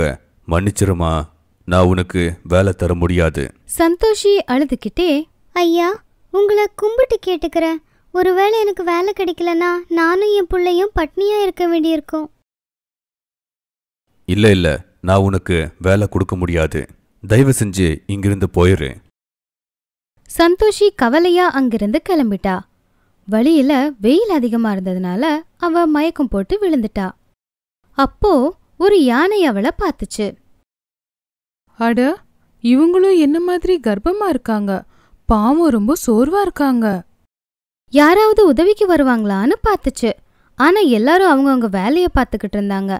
கடைசியா யானை ஒரு குடத்துல தண்ணியை எடுத்துட்டு வந்து சந்தோஷி மேல ஊத்துச்சு. தண்ணி ஊத்துனதும் சந்தோஷி கண் முழிச்சு பார்த்தா. பக்கத்துல யானைய பார்த்து அவ பயந்துட்டா. பயப்படாத உனக்கு ஒன்றும் ஆகாது. நான் இருக்கேன்ல? உனக்கு ரொம்ப ரொம்ப நன்றி.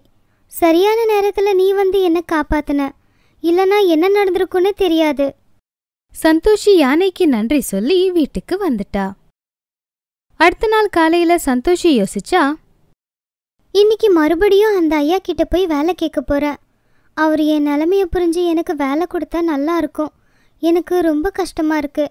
கடவுளே எப்படியாவது அவர் எனக்கு வேலை கொடுக்குற மாதிரி பார்த்துக்கோப்பா. சந்தோஷி மறுபடியும் அந்த ஆளை பார்க்க போனா. அவ சொன்னா ஐயா இன்னைக்காவது எனக்கு ஏதாவது வேலை கொடுங்க ஐயா. என் நிலைமைய புரிஞ்சுக்கோங்க. உங்களுக்கு புண்ணியமா போகும். அதுக்கு அவரு சரி சரி. வேலை பாருமா வேலை பார்க்கும்போது ஏதாச்சும் உனக்கு ஆச்சுன்னா அதுக்கு நான் பொறுப்பாக முடியாது. இதை முதல்லயே சொல்லிட்டேன். அப்படின்னு மிரட்டினாரு. சரி அப்படின்னு சொல்லி சந்தோஷி கட்டைய தூக்க ஆரம்பிச்சா. சோர்வா இருந்ததுனால பாரத்தை அவளால தூக்க முடியல.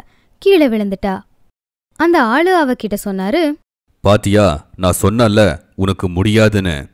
இப்ப பாரு என்னாச்சுன்னு இங்கிருந்து நீ போயிருமா? சந்தோஷி அவருக்கு புரிய வைக்க முயற்சி பண்ணா. அதே நேரத்துல அந்த யானை அங்க வந்து கட்டைங்களை தூக்கி வைக்க ஆரம்பிச்சுது. அவங்க ரெண்டு பேரும் ஆச்சரியப்பட்டாங்க. வேலை முடிஞ்சதுக்கு அப்புறம் யானை அவர்கிட்ட வந்து என் வேலை முடிஞ்சுது? எனக்கு காசு கொடுங்க. அந்த ஆளு ஆச்சரியமா பார்த்துக்கிட்டே பணத்தை கொடுத்தாரு. யானை அந்த பணத்தை உடனே சந்தோஷி கிட்ட கொடுத்துச்சு. அப்போ சந்தோஷி யானைய பார்த்து சொன்னா நேத்து நீ என்னுடைய உயிரை காப்பாத்தின. இன்னைக்கு எனக்காக கஷ்டப்பட்டு சம்பாதிச்சு கொடுத்துருக்க. உன்னுடைய இந்த உதவியை நான் எப்பவுமே மறக்க மாட்டேன். எனக்கு புரியல. எந்த ஜென்மத்தோட உறவோ நீ? சந்தோஷி அழ ஆரம்பிச்சா. கவலைப்படாத நான் தான் இருக்கேன்ல. நான் உன் கூடவே உன்னுடைய வீட்டுக்கு வரலாமா? முடியாதுன்னு மட்டும் சொல்லாத. நீ? ஏன் கூட வரியா? இப்போதான் எனக்கே நான் கொஞ்சம் கொஞ்சமா காசை சேர்க்கிறேன் நீ ஏன் கூட வந்தனா? எப்பவுமே நீ பட்னியா இருக்க வேண்டியிருக்கும். யானை சொல்லுச்சு பட்னியா ஏன் இருக்கணும். நான் இருக்கேன்ல நான் உனக்கு உதவி செய்றேன். சந்தோஷியும் சரின்னு சொல்லி அத அவ கூட கூட்டிட்டு போனா. யானை தினமும் அந்த மரக்கடையில வேலை பார்த்துச்சு. ஒரு நாள் அந்த மரக்கடையோட முதலாளியோட மனைவி யானைய பார்த்து புருஷன்கிட்ட சொன்னா என்னங்க எனக்கு ஒன்று தோணுது. என்ன என்ன யோசனை? இந்த யானை தான் இவ்வளோ வேலை பார்க்குதுல்ல அப்போ மற்ற எல்லா ஆட்களையும் நம்ம வேலையை விட்டு எடுத்துட்டோம்னா நமக்கு காசு மிச்சமாகும்ல? என்ன சொல்றீங்க? அவனும் சரி அப்படின்னு சொல்லி வேலை செஞ்சவங்களுக்கு அன்னைக்கு சேர வேண்டிய பணத்தை கொடுத்துட்டு அவங்க கிட்ட எல்லாம் நாளையில இருந்து வேலைக்கு வர வேண்டான்னு சொன்னாரு. ஆனா யானை கிட்ட சொன்னாரு நீ எல்லாம் வேலைக்கு வரலாம் உனக்கு வேலை இருக்கு. அப்புறம் அதுக்கு பணத்தை கொடுத்தாரு. யானை அந்த பணத்தை வாங்கிக்கிட்டு சந்தோஷமா வீட்டுக்கு வந்து சந்தோஷிக்கிட்ட அந்த பணத்தை கொடுத்துச்சு. நீ என்ன எவ்வளோ நல்லா பார்த்துக்கிற எனக்காக கஷ்டப்பட்டு சம்பாதிக்கிற. என்னுடைய எல்லா கஷ்டத்தையும் நீ பார்த்துக்கிற உனக்கு ரொம்ப ரொம்ப நன்றி. அடுத்த நாள் காலையில யானை எப்பவும் போல வேலை பார்த்துச்சு. வேலை செஞ்சு செஞ்சு அதுக்கு ரொம்ப சோர்வாயிடுச்சு. இப்போ மத்தவங்களோட வேலையும் இது சேர்த்து பாக்குதுல்ல மனசுக்குள்ள அட கடவுளே இன்னைக்கு ரொம்ப சோர்வா இருக்கு. என்னால வேலையே செய்ய முடியல. அது அங்கேயே நின்னுடுச்சு. அத பார்த்து முதலாளி யோசிச்சுக்கிட்டே அது பக்கத்துல போய் ஏன் நின்னுட்ட? போ போ போய் வேலையை பாரு. ஆனா யானையால ஒரு அடி கூட எடுத்து வைக்க முடியல. முதலாளி அம்மாவுக்கு கோவம் வந்து ஒரு குச்சியை எடுத்து யானைய அடிச்சாங்க. போ போ வேலையை பாரு. ஏன் நடக்கவே மாட்டேங்கிற? யானையால வலிய தாங்க முடியல. அம்மா ஐயோ ஆ அடிக்காதீங்க. என் பேச்ச கொஞ்சம் கேளுங்க. என்னால நடக்க முடியல. நான் கர்ப்பமா இருக்கேன். இதை நீங்க மறந்துட்டீங்களா? அது வலியில கீழே விழுந்துருச்சு. அப்போ அந்த வழியா போய்கிட்டு இருந்த ஒரு சாமியாரு இது எல்லாத்தையும் பார்த்து யோசிச்சாரு. என்ன இது? கர்ப்பமான யானையை இந்த பெண் இப்படி அடிக்கின்றாள். பாவம் அந்த யானை. கண்டிப்பாக இந்த பெண்ணுக்கு பாடம் புகட்டணும். சாமியார் அவளுக்கு சாபத்தை கொடுத்தாரு. உடனே அவளுக்கு தும்பிக்கை வந்துச்சு. அத வச்சு அவ கட்டைய தூக்க ஆரம்பிச்சா. ஆச்சரியப்பட்டு மனசுக்குள்ளேயே அட எனக்கு என்ன நடந்துச்சு? தும்பிக்கை எங்கிருந்து வந்துச்சு? நான் ஏன் கட்டியை தூக்கிக்கிட்டு இருக்கேன்? ஒண்ணுமே புரியலையே. இப்படி அழுதுகிட்டே அவ வேலைய பார்த்துக்கிட்டு இருந்தா. சாமியார் அதை பார்த்து சிரிக்க ஆரம்பிச்சாரு. அவளுடைய புருஷனும் பொண்டாட்டியோட நிலைமைய பார்த்து கவலைப்பட்டாரு. அதுக்குள்ள அவன் அந்த சாமியார பார்த்தான். அவன் அவர் பக்கத்துல போய் சாமியார என்னோட பொண்டாட்டிய பாருங்க எப்படி மாறிட்டான். எனக்கு என்னவோ நீங்க தான் இதெல்லாம் பண்ண மாதிரி தெரியுது. அவ தெரியாம இந்த தப்பெல்லாம் பண்ணிட்டா. தயவு செஞ்சு அவளை நீங்க மன்னிச்சிருங்க. அவளை முன்ன மாதிரியே பண்ணிருங்க சுவாமிஜி. சாமியாரும் அவன் வேண்டுதலை கேட்டு அவனுடைய மனைவிய முத மாதிரியே மாத்திட்டாரு. அவ சாமியார் பக்கத்துல வந்து என்ன மன்னிச்சிடுங்க ஐயா. இதுக்கப்புறம் நான் இந்த மாதிரி தப்பு செய்ய மாட்டேன். சாமியார் சொன்னாரு உன்னோட முடிவெல்லாம் எமக்கு தெரியும். அந்த யானைக்கு அதோட காசு தாருங்கள். அவங்க ரெண்டு பேரும் சரின்னு சொல்லி யானைக்கு பணம் கொடுத்தாங்க. யானையால அதோட அழுகையை நிப்பாட்ட முடியல. அது சாமியாருக்கு நன்றின்னு சொல்லுச்சு. சாமியார் சொன்னாரு கவலைப்படாதே வா வீட்டுக்கு போகலாம். வீட்ல இருந்த சந்தோஷி கிட்ட சாமியார் நடந்த எல்லாத்தையும் சொன்னாரு. முதலாளி அம்மாவுக்கு கருணையே இல்ல. இந்த யானை எனக்காக தான் அம்புட்டு கஷ்டத்தையும் படுது. நல்ல வேளையா நீங்க வந்தீங்க இல்லைன்னா என்ன நடந்திருக்குமோ. ரொம்ப நன்றி ஐயா. இந்த யானை உன்னிடம் எதற்காக வந்தது என்று நான் அறிவேன். இந்த யானையாலத்தான் உன்னோட கணவன் இறந்து விட்டான். சந்தோஷி ஆச்சரியப்பட்டா. நீங்க என்ன சொல்றீங்க? ஆம் உன்னோட கணவன் காட்டு விலங்குகளை வேறு நாட்டுக்கு வியாபாரம் செய்வான். இது உமக்கு தெரியாது. ஒரு நாள் இந்த யானையை கூட்டிக் கொண்டு போனான். இந்த யானை தன் உயிரை காப்பாத்திக் கொள்ள உன் கணவனை கொன்றது. இதை கேட்டது சந்தோஷி கவலைப்பட்டா. என் புருஷன் இந்த மாதிரி வேலை பார்த்தாரா? இது எனக்கு தெரியாதே. ஆனா ஐயா இந்த யானைக்கு என்ன எப்படி தெரியும்? இது எப்படி எனக்கு உதவி செய்யுது? அப்போ யானை சொல்லுச்சு என்ன நான் காப்பாத்திக்க? உன்னுடைய புருஷனை கொல்ல வேண்டி வந்துச்சு. அதுக்கப்புறம் தான் அவனோட பேக்ல நான் பார்த்தேன். உன்னுடைய ஃபோட்டோ இருந்துச்சு. கொஞ்ச நாளுக்கு அப்புறம் நீ என் பக்கத்துல வந்த. அப்பதான் எனக்கு புரிஞ்சுது நான் செஞ்சது எவ்வளவு பெரிய தப்பு அப்படின்னு. நான் செஞ்ச பாவத்தை போக்குறதுக்காக தான் நான் உன் கூட இருந்து உதவி செய்ய ஆரம்பிச்சேன். நான் அன்னைக்கே இதை உன்கிட்ட சொல்லியிருந்தா ஒருவேளை நீ என்னை வெறுத்திருப்பேன்னு நினைச்சேன். யானை அழ ஆரம்பிச்சது. என் புருஷன் எப்பவுமே அவர் கூட என் ஃபோட்டோவை வச்சுக்கிட்டே இருப்பாரு. ஏன் அப்படின்னு கேட்டா நீ என்னுடைய அதிர்ஷ்டம்னு சொல்லுவாரு. நான் அதிர்ஷ்டசாலியா இல்லையான்னு தெரியாது. ஆனா இன்னைக்கு அந்த ஃபோட்டோ மூலமாக தான் நீ எனக்கு கிடைச்சிருக்க எனக்கு எல்லா உதவியும் செய்கிற நீ கவலைப்படாத. அவர் செஞ்ச பாவத்துக்கு தண்டனை கிடைச்சது. இதில் உன்னுடைய தப்பு எதுவும் இல்லை. அப்போ சாமியார் சொன்னாரு இங்க பாரு இந்த யானை அதை நினைத்து ரொம்ப கவலைப்படுது. அதை உன்னிடம் சொல்ல முடியவில்லை. அதோட மனவேதனையை சொல்லத்தான் நான் இங்கு வந்தேன். நான் செல்கிறேன். ரெண்டு பேர் நல்லபடியா இருங்கள். அது ஒரு பெரிய காடு. காட்டுக்கு பக்கத்துல ஒரு மலை. அந்த மலைக்கு கீழே ஒரு சின்ன குகை இருந்துச்சு. அந்த குகைக்குள்ள யக்ஷன் அப்படிங்கிற மந்திரவாதி பல வருஷமா ஒரு பேய சிறப்பிடிச்சு வச்சு அத ரொம்ப கொடுமைப்படுத்திக்கிட்டு இருந்தான். ஒரு நாள் அவன் அந்த பேய்கிட்ட சொன்னா நான் உன்னை எதுக்கு கட்டி போட்டு வச்சிருக்கேன்னு தெரியுமா?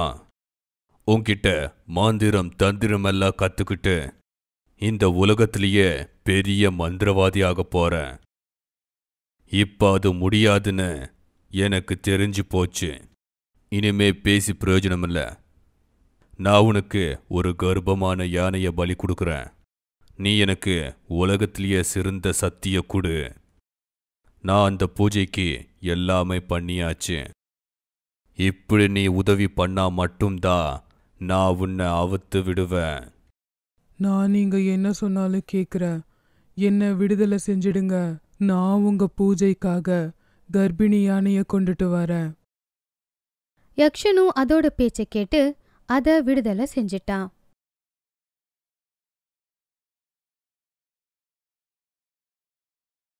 பேய் அன்னிக்கு நைட்டு ஒரு மரத்துல உட்காந்து யோசிச்சுது. அப்போ மனோகர் அவனுடைய யானை கிட்ட நீ நல்லபடியா சாப்பிடணும். அப்படி சாப்பிட்டாதான் உனக்கு புஷ்டியா இருக்கும். அப்படி பண்ணா நீயும் நல்லா இருப்ப உன்னோட குழந்தையும் நல்லா இருக்கும். சரியா? இது எல்லாத்தையும் பார்த்து அந்த பேய் சரியான நேரத்துல சரியான இடத்துக்கு வந்திருக்கேன் இந்த யானையை எனக்கு ரொம்ப பிடிச்சிருக்கு. நான் இதை அந்த யக்ஷன் கிட்ட கொடுத்துட்றேன். அதுக்கப்புறம் நான் விடுதலை ஆயிடுவேன். சுதந்திரமா வாழுவேன். கொஞ்ச நேரத்துக்கு அப்புறம் மனோகர் தூங்கிட்டான். யானையும் ஓய்வெடுத்துக்கிட்டு இருந்துச்சு. அப்போ அந்த பேய் யானையை தூக்கிக்கிட்டு யக்ஷன் கிட்ட கூட்டிட்டு போச்சு.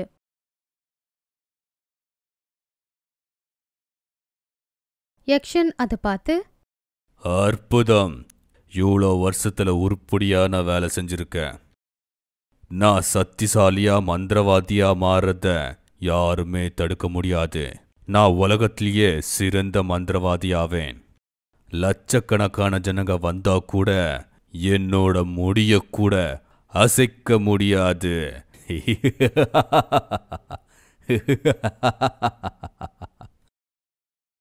யக்ஷன் ரொம்ப சந்தோஷமாயிருந்தான் யானை இது எல்லாத்தையும் பார்த்து ரொம்ப சத்தமா கத்த ஆரம்பிச்சது. அதை பார்த்து யக்ஷன் என்னாச்சு? எதுக்கு சத்தம் போடுற? உன்னோட கடைசி நேரம் வந்தாச்சு. உன்னோட சத்தம் யாருக்குமே கேட்காது. உன்னை யாருமே காப்பாத்த முடியாது. என் கையால தான் உனக்கு சாவு. பேய் யக்ஷன் கிட்ட இங்க பாரு நீ சொன்ன நான் செஞ்சுட்டேன். இப்ப என்ன விடுதலை பண்ணிடு. ஆ நான் சொன்ன வேலைய கச்சிதமா முடிச்சிருக்க. இப்ப நான் உனக்கு மந்திர சக்தியால விடுதலை கொடுக்கறேன். எங்க போகணுமோ அங்க போ. இனிமே சுதந்திரமா இரு. பேய் அங்கிருந்து மறைஞ்சு போயிடுச்சு. இப்போ நீ சாகிறதுக்கு தயாராயிரு யக்ஷன் அந்த யானைய பலி கொடுக்க தயாராயிட்டான். அதுக்குள்ள யானை கடவுளே இவன் என்ன கொல்றதுக்கு பார்க்கறானே எனக்கு என்னை விட என் குழந்தை மேலே தான் உயிர் அதிகம். இப்போ என்ன செய்ய? அதுக்கப்புறம் யானை அதோடைய சக்தி எல்லாத்தையும் சேர்த்து யக்ஷனை அதோட தும்பிக்கையாலேயே இடிச்சிருச்சு. எவ்வளோ தைரியம் உனக்கு? என்னையே கொல்ல பாக்குறியா? இப்ப பாரு உன்னை என்ன பண்ண போறேன்னு. அதுக்கப்புறம் யக்ஷன் ஒரு மந்திர குச்சிய அது பக்கம் ஏவி விட்டான் அந்த குச்சி யானைய சுத்தி சுத்தி அடிச்சுக்கிட்டே இருந்துச்சு. யானையோட உடம்பெல்லாம் அடிபட்டுருச்சு. ரத்தம் வர ஆரம்பிச்சது. யானை மனசுக்குள்ள கடவுளே இங்கிருந்து தப்பிச்சு போய் என் உயிரை என்னால் காப்பாற்ற முடியாதா? நான் இந்த வலியை தாங்கிக்கிறேன். ஆனால் என் வயித்துல இருக்கிற குழந்தைக்கு எந்த பிரச்சனையும் வராமல் பார்த்துக்கோ அவனை காப்பாத்து. பாவம் அது அழ ஆரம்பிச்சது. அங்க மனோகரோட தூக்கம் கலைஞ்சது. அவன் வெளிய வந்து பார்த்தான் யானை அங்க இல்ல. தேவி தேவி! யானைய தேட ஆரம்பிச்சான் தேடிக்கிட்டே அவன் காட்டுக்குள்ள வந்தான். ஆனா யானை எங்கேயும் இல்ல. மனோகர் அவன் மனசுக்குள்ள அட கடவுளே என்னோட தேவி எங்க போச்சு? அது கர்ப்பமா இருக்கு. அதுக்கு ஒண்ணுமே ஆகக்கூடாது. கடவுளே அவளை காப்பாத்து. தேவி எங்கப்பா இருக்க நீ? அவன் அழ ஆரம்பிச்சான். அப்போ அந்த பேய் அவன் முன்னாடி வந்து என்னாச்சு? கவலையா இருக்க? ஓ உன்னுடைய யானைய காணுமா? அத நான் தான் எடுத்துட்டு போனேன். நான் அத ஒரு மந்திரவாதி கிட்ட கொடுத்து அவன்கிட்ட இருந்து விடுதலைய வாங்கிட்டேன். என்ன? என்ன சொல்ற நீ? என்னோட தேவி உனக்கு அப்படி என்னதா பண்ணா? நான் அத அந்த மந்திரவாதி கிட்ட எடுத்துட்டு போனேன். அத அவன் கொல்ல போறான் ஐயோ பேயே என்ன பண்ணி வச்சிருக்க? என்னோட தேவி கர்ப்பமா இருக்கு. அது என் வீட்டோட லட்சுமி. தயவு செஞ்சு அதை கூட்டிக்கிட்டு வா. வேணும்னா என்னோட உயிர் எடுத்துக்கோ. கருணை காட்டு கொஞ்சம். என்னோட தேவியை காப்பாத்து. திரும்ப கூட்டிக்கிட்டு வா. அவனுடைய பேச்ச கேட்ட பேய் ரொம்ப கவலைப்பட்டுச்சு. அட நீ உன் யானைய ரொம்ப நேசிக்கிற அப்படின்னு நினைக்கிற? நான் எவ்வளவு சுயநலமா இருந்திருக்கேன். என்னுடைய விடுதலைக்காக பாவம் உன் யானையோட உயிரை நான் பலி கொடுத்துட்டேன். எனக்கு வெக்கமா இருக்கு என்ன மன்னிச்சிடு. ஆனா இப்போ எதுவும் செய்ய முடியாது. நீ என்ன சொல்ற? ஏதாச்சும் பண்ணி என்னோட யானை எனக்கு திருப்பி கொடு. என்னை அங்க கூட்டிக்கிட்டு போ. நான் உன்னை அங்க கூட்டிட்டு போறேன். ஆனா அந்த மந்திரவாதி ரொம்ப மோசமானவன். அவனுடைய சக்திக்கு முன்னாடி உன்னால சண்டை போட முடியாது. ஒரே வழிதான் இருக்கு. அவனை கொன்னா மட்டும்தான் உன்னுடைய யானைய காப்பாத்த முடியும். என்ன? அவனோட உயிர் எடுக்கணுமா? அது என்னால முடியாது. வேற ஏதாச்சும் வழி இருக்கா? வேற எந்த வழியும் கிடையாது. அந்த மந்திரவாதி ரொம்ப மோசமானவன். சரி என்னை சீக்கிரமா கூட்டிக்கிட்டு போ. நான் அவனை கொன்னு என்னோட தேவியை மட்டும் இல்ல இந்த உலகத்தையே அவன்கிட்ட இருந்து நான் காப்பாத்த போறேன். ஆ. அது அவ்வளவு சுலபம் இல்ல. அந்த மந்திரவாதியோட கண்ணுங்களுக்கு நடுவுல இன்னொரு கண்ணு இருக்கு. நீ சரியா குறி பார்த்து அந்த கண்ணை குத்துனனா அவன் செத்து போயிடுவான். உன்னால அது முடியுமா? அவனை கொல்றதுனால வேற அவங்களுக்கு நல்லதா இருந்துச்சுன்னா நான் என்னோட உயிரை விடவும் ரெடியா இருக்கேன். சரி வா. பேய் மனோகர அங்க கூட்டிட்டு போச்சு. அவன் அந்த குகைக்குள்ள போனான் அங்க தேவி இரத்த காயங்களோட அழுதுகிட்டு இருந்துச்சு. காப்பாத்துங்க. யாராவது என்ன காப்பாத்துங்க. என் நண்பன் மனோகர் கிட்ட சொல்லுங்க. யாராவது என்னையும் என் குழந்தைய காப்பாத்துங்க. மனோகரை பார்த்து யக்ஷன் ஏய் என்னோட அனுமதி இல்லாம நீ எப்படி உள்ள வந்த? அவ்வளோ தைரியமா உனக்கு. யானைய காப்பாத்த வந்திருக்கியா? உனக்கு கொஞ்சம் கூட இறக்கமே இல்லையா? நீ மனுஷதானா? மிருகமா? பாவம் இந்த யானை உனக்கு என்ன பண்ணுச்சு? எதுக்கு இந்த யானையை நீ கொல்ல நினைக்கிற ஆ? எவ்வளோ கல் நெஞ்சக்கார நீ. நீ மனுஷனே இல்ல ராட்சசன். இந்த யானை ஏதாச்சும் உனக்கு கெடுதல் பண்ணிருக்கா ஆ? இறக்கம்ங்கிறது உனக்கு கொஞ்சம் கூட இல்லையா? அப்படி இருந்திருந்தா நீ இப்படி பண்ண மாட்டேன்.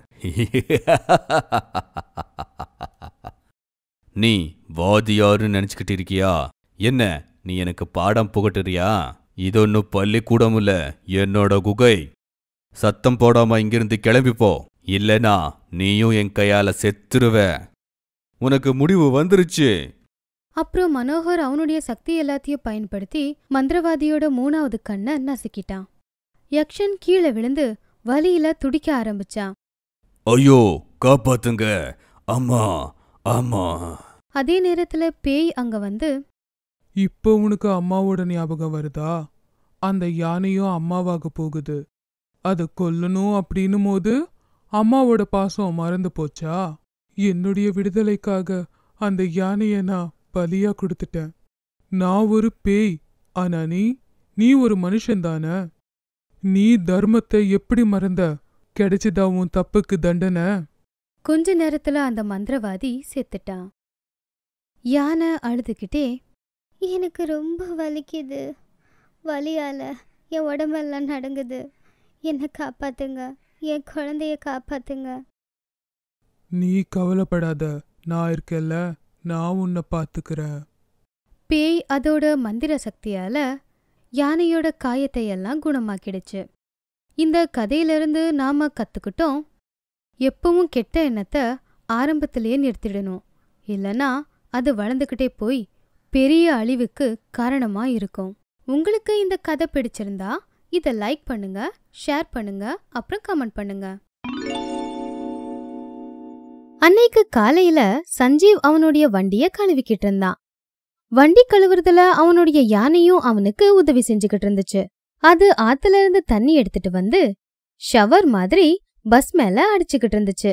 அத பார்த்து சஞ்சீவ் சொன்னா கணேசா நம்ம பஸ்ஸு புதுசு மாதிரி ஜொலிக்கணும். பார்க்கறவங்க அசந்து போயிடணும் கணேஷும் தலைய ஆட்டி சரி சரின்னு சொல்லுச்சு. அதுக்குள்ள ஒரு ஆள் அங்க வந்து சஞ்சு என்கிட்ட வாங்கின பணத்தை எப்போ தரப்புற? தரலனா பஸ்ஸை தூக்கிடுவ. சாவுகார்ஜி வாங்க வாங்க. நான் தான் உங்களுக்கு முன்னாலேயே சொன்னேன்ல உங்கள் பணத்தை நான் சீக்கிரமே தந்துடுறேன்னு என்ன பண்ணுறது எனக்கு பணம் கொடுக்க வேண்டியவங்க இன்னும் எனக்கு தரல. அது திருப்பி வந்த உடனே உங்களுக்கு நான் கண்டிப்பாக அந்த பணத்தை கொடுத்துட்றேன். ஜமீன்தாருக்கு கோவம் வந்துச்சு. நீ பணத்தை எப்போ கொடுக்கறது? நான் எப்போ வாங்குறது? உன் நிலமை தான் சரியில்லைல்ல. அப்புறம் எதுக்கு இவ்வளோ பெரிய யானையை நீ இன்னும் வளர்த்துன்னு இருக்க ஆ? அப்போ சஞ்சீவ் சொன்னா சாவுக்கார் கொஞ்சம் பார்த்து பேசுங்க. இந்த யானை மட்டும் இல்லைன்னா நான் உயிரோடவே இருந்திருக்க மாட்டேன். என்னால் திருப்பி பணத்தை கூட கொடுக்க முடியாத போயிருக்கும். நீங்கள் பணத்தை மட்டுமே பேசுங்க. ரெண்டு நாள் உங்களுக்கு நான் அந்த பணத்தை கண்டிப்பாக திருப்பி கொடுத்துட்றேன். ஜமீன்தாரும் ரொம்ப கோவமா பணத்தை வாங்கும்போது ரொம்ப பவ்யமாக பேசுனேன் ஆனால் இப்போ என்னடானா ரொம்ப திம்பரா பேசின்னு இருக்க அப்புறம் அங்கிருந்து போயிட்டாரு. அதே நேரத்துல சஞ்சீவோட நண்பன் லக்ஷ்மண் வந்தான்.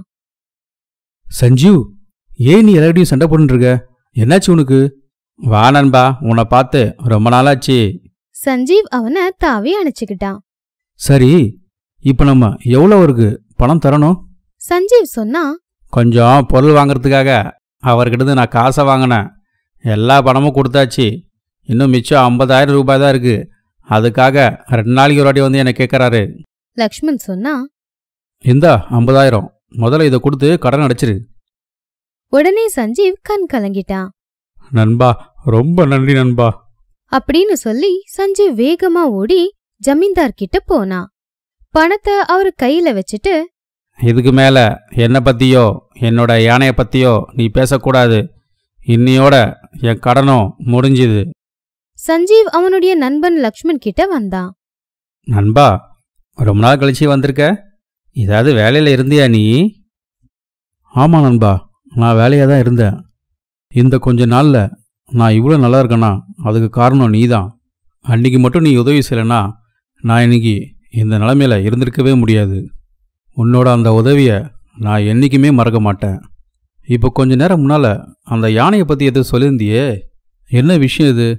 அதை பற்றி கொஞ்சம் நீ சொல்லு. சஞ்சீவ் சொன்னா நண்பா சொல்கிறேன் முதல்ல வீட்டுக்கு போகலாம் சரின்னு சொல்லி லக்ஷ்மண் சஞ்சீவ் வீட்டுக்கு போனான் அப்போ சஞ்சீவ் யானை கிட்ட சொன்னா கணேசா லக்ஷ்மண் ரொம்ப நாள் கழிச்சு நம்ம வீட்டுக்கு வந்திருக்கான். நீ சந்தைக்கு போய் ஷாம்னலை பார்த்து அவங்கிட்ட இருக்கிற விதவிதமான பழங்களெல்லாம் வாங்கிட்டு வா சரியா? கணேஷும் தலைய ஆட்டிட்டு மார்க்கெட்டுக்கு போயிடுச்சு. சஞ்சீவ் வீட்டுக்குள்ள போய் லக்ஷ்மண் கிட்ட பேசிக்கிட்டு இருந்தான். லக்ஷ்மண் சொன்னா இப்போ சொல்லு என்ன நடந்துச்சு? சஞ்சீவ் அழுதுகிட்டே அவன்கிட்ட சொன்னான். நண்பா அன்னைக்கு நான் இருட்டில் காட்டு வழியா வீட்டுக்கு வந்துக்கிட்டு இருந்தேன். பஸ்ஸை நான் நல்லா கவனமாக தான் பார்த்து ஓடிட்டு வந்தேன். ஆனால் பஸ்ஸில் பிரேக்கு பிடிக்கவே இல்லை. ஐயோ கடவுளே இது புதுசாச்சே. ஏன் பிரேக் பிடிக்க மாட்டேங்குது? யாரோ ஏதோ சதி பண்ணியிருக்காங்க ஏன் இப்படி நடக்குது? ஐயோ ஏன் பஸ்ஸு பிரேக் பிடிக்கல? ஐயோ கொஞ்ச நேரத்தில் பஸ்ஸு பள்ளத்தில் விழுந்துருச்சு. என் உயிரை காப்பாத்துறதுக்கு நான் போராடி இருந்தேன். அப்போ இந்த நேரத்தில் இந்த யானை தான் என்னோட உயிரை காப்பாத்திச்சு. எனக்கு கொஞ்சம் இங்கேயும் அங்கேயும் அடிப்படிச்சு எவ்வளோதான் இந்த விபத்துக்கு அப்புறம் நான் பஸ்ஸே ஓட்டல. எனக்கு பஸ் ஓட்ட தெரியுமே வரல. கொஞ்ச நாள் கழிச்சு நான் பஸ்ஸு சரி பண்ணி ஓட்ட ஆரம்பித்தேன் அப்போ ஒரு நாள் அங்கே யானையை பார்த்தேன். அதுக்கிட்ட போய் நீ தானே என்னோடய உயிரை காப்பாத்தின? அன்னைக்கு மட்டும் நீ என்னை காப்பாற்றலன்னு வச்சுக்கியேன் இனி நான் உயிரோடவே இருந்திருக்க முடியாது. எல்லாரோட உயிரும் ஒன்று தான் அது என்ன மாதிரி? மிருகமாயிருந்தா என்ன? மனுஷனாயிருந்தா என்ன? ஆனா இறக்கமே இல்லாத சில மனுஷங்க அவங்க வண்டியால எங்களை இடிச்சு காயப்படுத்துறாங்க. இந்த மாதிரியான ஒரு விபத்துல தான் என்னோட அம்மாவை நான் இழந்துட்டேன். ஒரு நாள் ஒரு லாரி டிரைவர் ரொம்ப வேகமாக வண்டி ஓட்டிட்டு வந்திருந்தான்.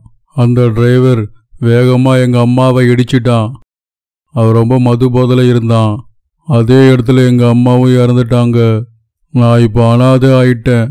என்னோட அப்பா ஞாபகத்தில் தான் நான் வாழ்ந்துக்கிட்டு இருக்கேன். அதனால தான் தினைக்கும் நான் இங்கே வரேன். அன்னைக்கு நான் தான் உங்களை காப்பாற்றினேன் இதையெல்லாம் கேட்டு நான் ரொம்ப கஷ்டப்பட்டேன். அந்த யானைக்கிட்ட கவலைப்படாத நண்பா உன்னோட கதையை கேட்டு எனக்கு ரொம்ப கண்ணீர் வருது. அப்புறம் என் பஸ்ஸில் நான் கிளம்பிட்டேன். எனக்கு எதில் ஒரு பஸ்ஸு வேகமாக வந்திருந்தது. நான் மெதுவாக போனாலும் பஸ்ஸோட வேகம் குறையில. அந்த பஸ்ஸு ரொம்ப ரொம்ப வேகமாக வந்து அது என் பஸ்ஸு மேலே திடீர்னு வந்து மோதிருச்சு. என்னோடய பஸ்ஸு ரெண்டு இடைவெளிக்கு நடுவில் தொங்கியிருந்தது. அவன் அந்த பஸ்ஸுலேருந்து குதிச்சு தப்பிச்சிட்டான். ஆனால் அவன் பஸ்ஸு பள்ளத்தில் விழுந்தது. நான் தனியாக பஸ்ஸில் மாட்டிக்கிட்டு காப்பாத்துங்க காப்பாத்துங்கன்னு கதறினேன். அப்போது அதே யானை அதோட முழு முயற்சியால் பஸ்ஸை மேலே இழுத்து அது என்னை காப்பாத்திருச்சு. இதனால் அதுக்கு தும்பிக்கையிலையும் கால்லையும் நல்லா அடிபட்டுச்சு. அப்போ அந்த யானை வழியில் ரொம்ப ரொம்ப துடிச்சிருந்தது. ஐயோ கடவுளே என்னால் இந்த வலியை தாங்க முடியலையே. நான் உதவி செஞ்சது எனக்கு சந்தோஷம்தான். ஆனால் இந்த வலிக்கு நான் என்ன செய்ய முடியும்? யானையே அழாத இப்போ கூட நீ தான் என்னை காப்பாற்றிருக்க நம்ம ரெண்டு பேருக்குமே பூர்வ ஜென்ம உறவு இருக்குது போல. அதனால்தான் நீ எப்பவுமே எனக்கு உதவுற நீ கவலைப்படாத. நான் அதை கவனித்து அதோட காயத்துக்கு நான் மருந்து போட்டு என்னோட வீட்டுக்கு நான் அதை கூட்டுட்டு வந்துட்டேன். கொஞ்ச நாளில் அதோட கால் சரியாயிடுச்சு. அதுவும் என் கூட தான் இருக்க ஆசைப்படுது. நானும் அதை என் கூடவே வச்சுருக்கேன். நண்பா அது மட்டும் இல்லை அந்த யானை இங்கே ரொம்ப சந்தோஷமாக இருக்குது அது ரெண்டு வாட்டி என்னோட உயிரை காப்பாற்றிருக்கு நண்பா. சொல்லு இதுக்கப்புறம் நான் என்ன செய்யறது நீயே சொல்லு நண்பா. அப்போ லக்ஷ்மண் சொன்னா இதெல்லாம் கேட்டா ரொம்ப ஆச்சரியமா இருக்கு நண்பா.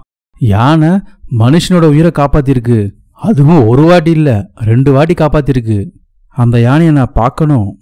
என் நண்பனோட உயிரை காப்பாத்துறதுக்கு அதுக்கு நான் நன்றி சொல்ல போறேன்.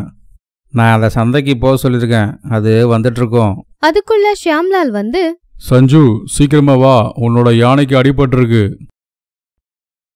என்னாச்சு? சொல்ற சீக்கிரமா வா.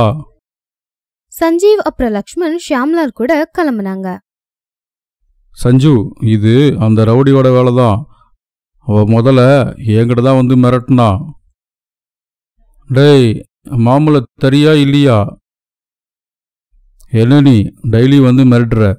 இரு போலீஸ்கிட்ட கம்ப்ளைண்ட் பண்ணுறேன் என் மேலே நீ கம்ப்ளைண்ட் கொடுப்பியா? இப்படியே சொல்லிட்டு அவ கையில் இருந்தா கத்தி எடுத்தா. அப்போ இந்த யானை வந்து ஷாம்லால் எதுவும் பண்ணாதீங்க. அவர் ரொம்ப நல்லவர். ஏய் யானை உன்னை பார்த்தா ரொம்ப விவரமாக தான் இருக்குது. அப்போ அந்த அடியை நீயே வாங்கிக்கோ. சரி அந்த அடியை நானே வாங்கிக்கிறேன். அப்படின்னு சொல்லுச்சு. இல்லை இல்லை. அப்போ ஷியாம்லால் கையெடுத்து கும்பிட்டு இந்த யானையை சஞ்சு ரொம்ப அன்பா வளர்த்துன்னு இருக்கான். தயவு செய்து அது எதுவும் பண்ணிடாத. இதுக்கு ஏதாவது ஒன்று ஆச்சுன்னா அவள் ரொம்ப கஷ்டப்படுவான் இது ரொம்ப நல்ல யானை தயவு செய்து இதை எதையும் பண்ணிடாத ஓ இது சஞ்சீவோட யானையா? அவனுக்கு எவ்வளோ தலக்கணம் இருக்கோ அதே தலக்கணம் தான் இதுக்கும் இருக்குது அவன் உயிர் எடுக்கத்தான் அவன் வண்டி பிரேக்கை நான் பிடுங்கிட்டேன். ஆனால் எப்படியோ அவன் தப்பிச்சிட்டான். அப்போ நீ தான் அந்த சஞ்சீவனை கொலை பண்ண பார்த்தியா? உன்னை நான் விடமாட்டேன். யானை அவனை தூக்கி போகிறதுக்குள்ளே அந்த ரவுடி அவனோட வாளால அவன் தாக்க ஆரம்பிச்சான். அதுவும் இல்லாம கம்பை வச்சு கூட அடிக்க ஆரம்பிச்சான். நான் அதை காப்பாற்ற முயற்சி பண்ணும்போது அந்த ரவுடி என்னையும் அடிச்சான். ஷியாம்லால் சொன்னான். இது எல்லாத்தையும் கேட்டு சஞ்சீவ் சொன்னா அவனுக்கு என்கிட்ட தானே விரோதம். அந்த யானை என்ன பண்ணுச்சு அந்த யானை ஏன் அவன் அடிச்சான்? அவனை நான் சும்மாவே விட போறதில்ல. அவனை நான் என்ன பண்ண போறேன் பார்? ஷியாம்லால் சொன்னா சஞ்சீவ் அமைதியா இரு. அவனை போலீஸ் பிடிச்சிட்டாங்க. யானையை அவ அடிக்கும்போது போலீஸ் அங்கே தான் இருந்துச்சு. போலீஸ் பொதுமக்கள் மாதிரி வேஷம் போட்டு சந்தில் இருப்பாங்கன்னு அவனுக்கு தெரியாது. அவ போலீஸை கூட தாக்குனான் இப்போ கண்டிப்பாக அவன் ஜெயிலில் கம்பி எண்ணிட்டு இருப்பான். நல்லது. இந்த மாதிரி இறக்கமே இல்லாத ஆளுங்களுக்கு இந்த மாதிரி தண்டனை தான் கிடைக்கணும். பாவம் இந்த யானையை அவன் எவ்வளோ கஷ்டப்படுத்திருக்கான்.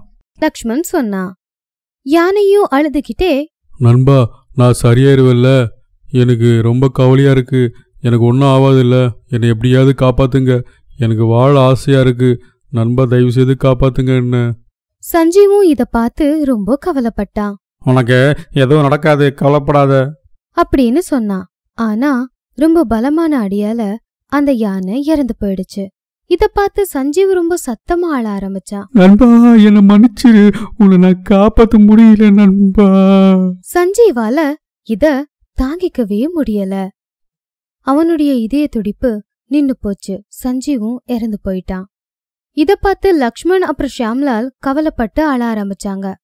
கடவுளே ரெண்டு பேரையுமே ஒன்னாவே அழிச்சு போட்டியா? ஒரு நண்பனை நான் இழந்துட்டேன்.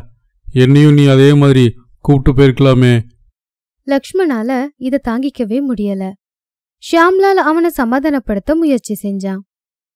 சஞ்சீவ் அப்புறம் அவனுடைய யானைக்கு என்ன நடந்துச்சோ அது ரொம்ப தப்பா நடந்திருந்தது.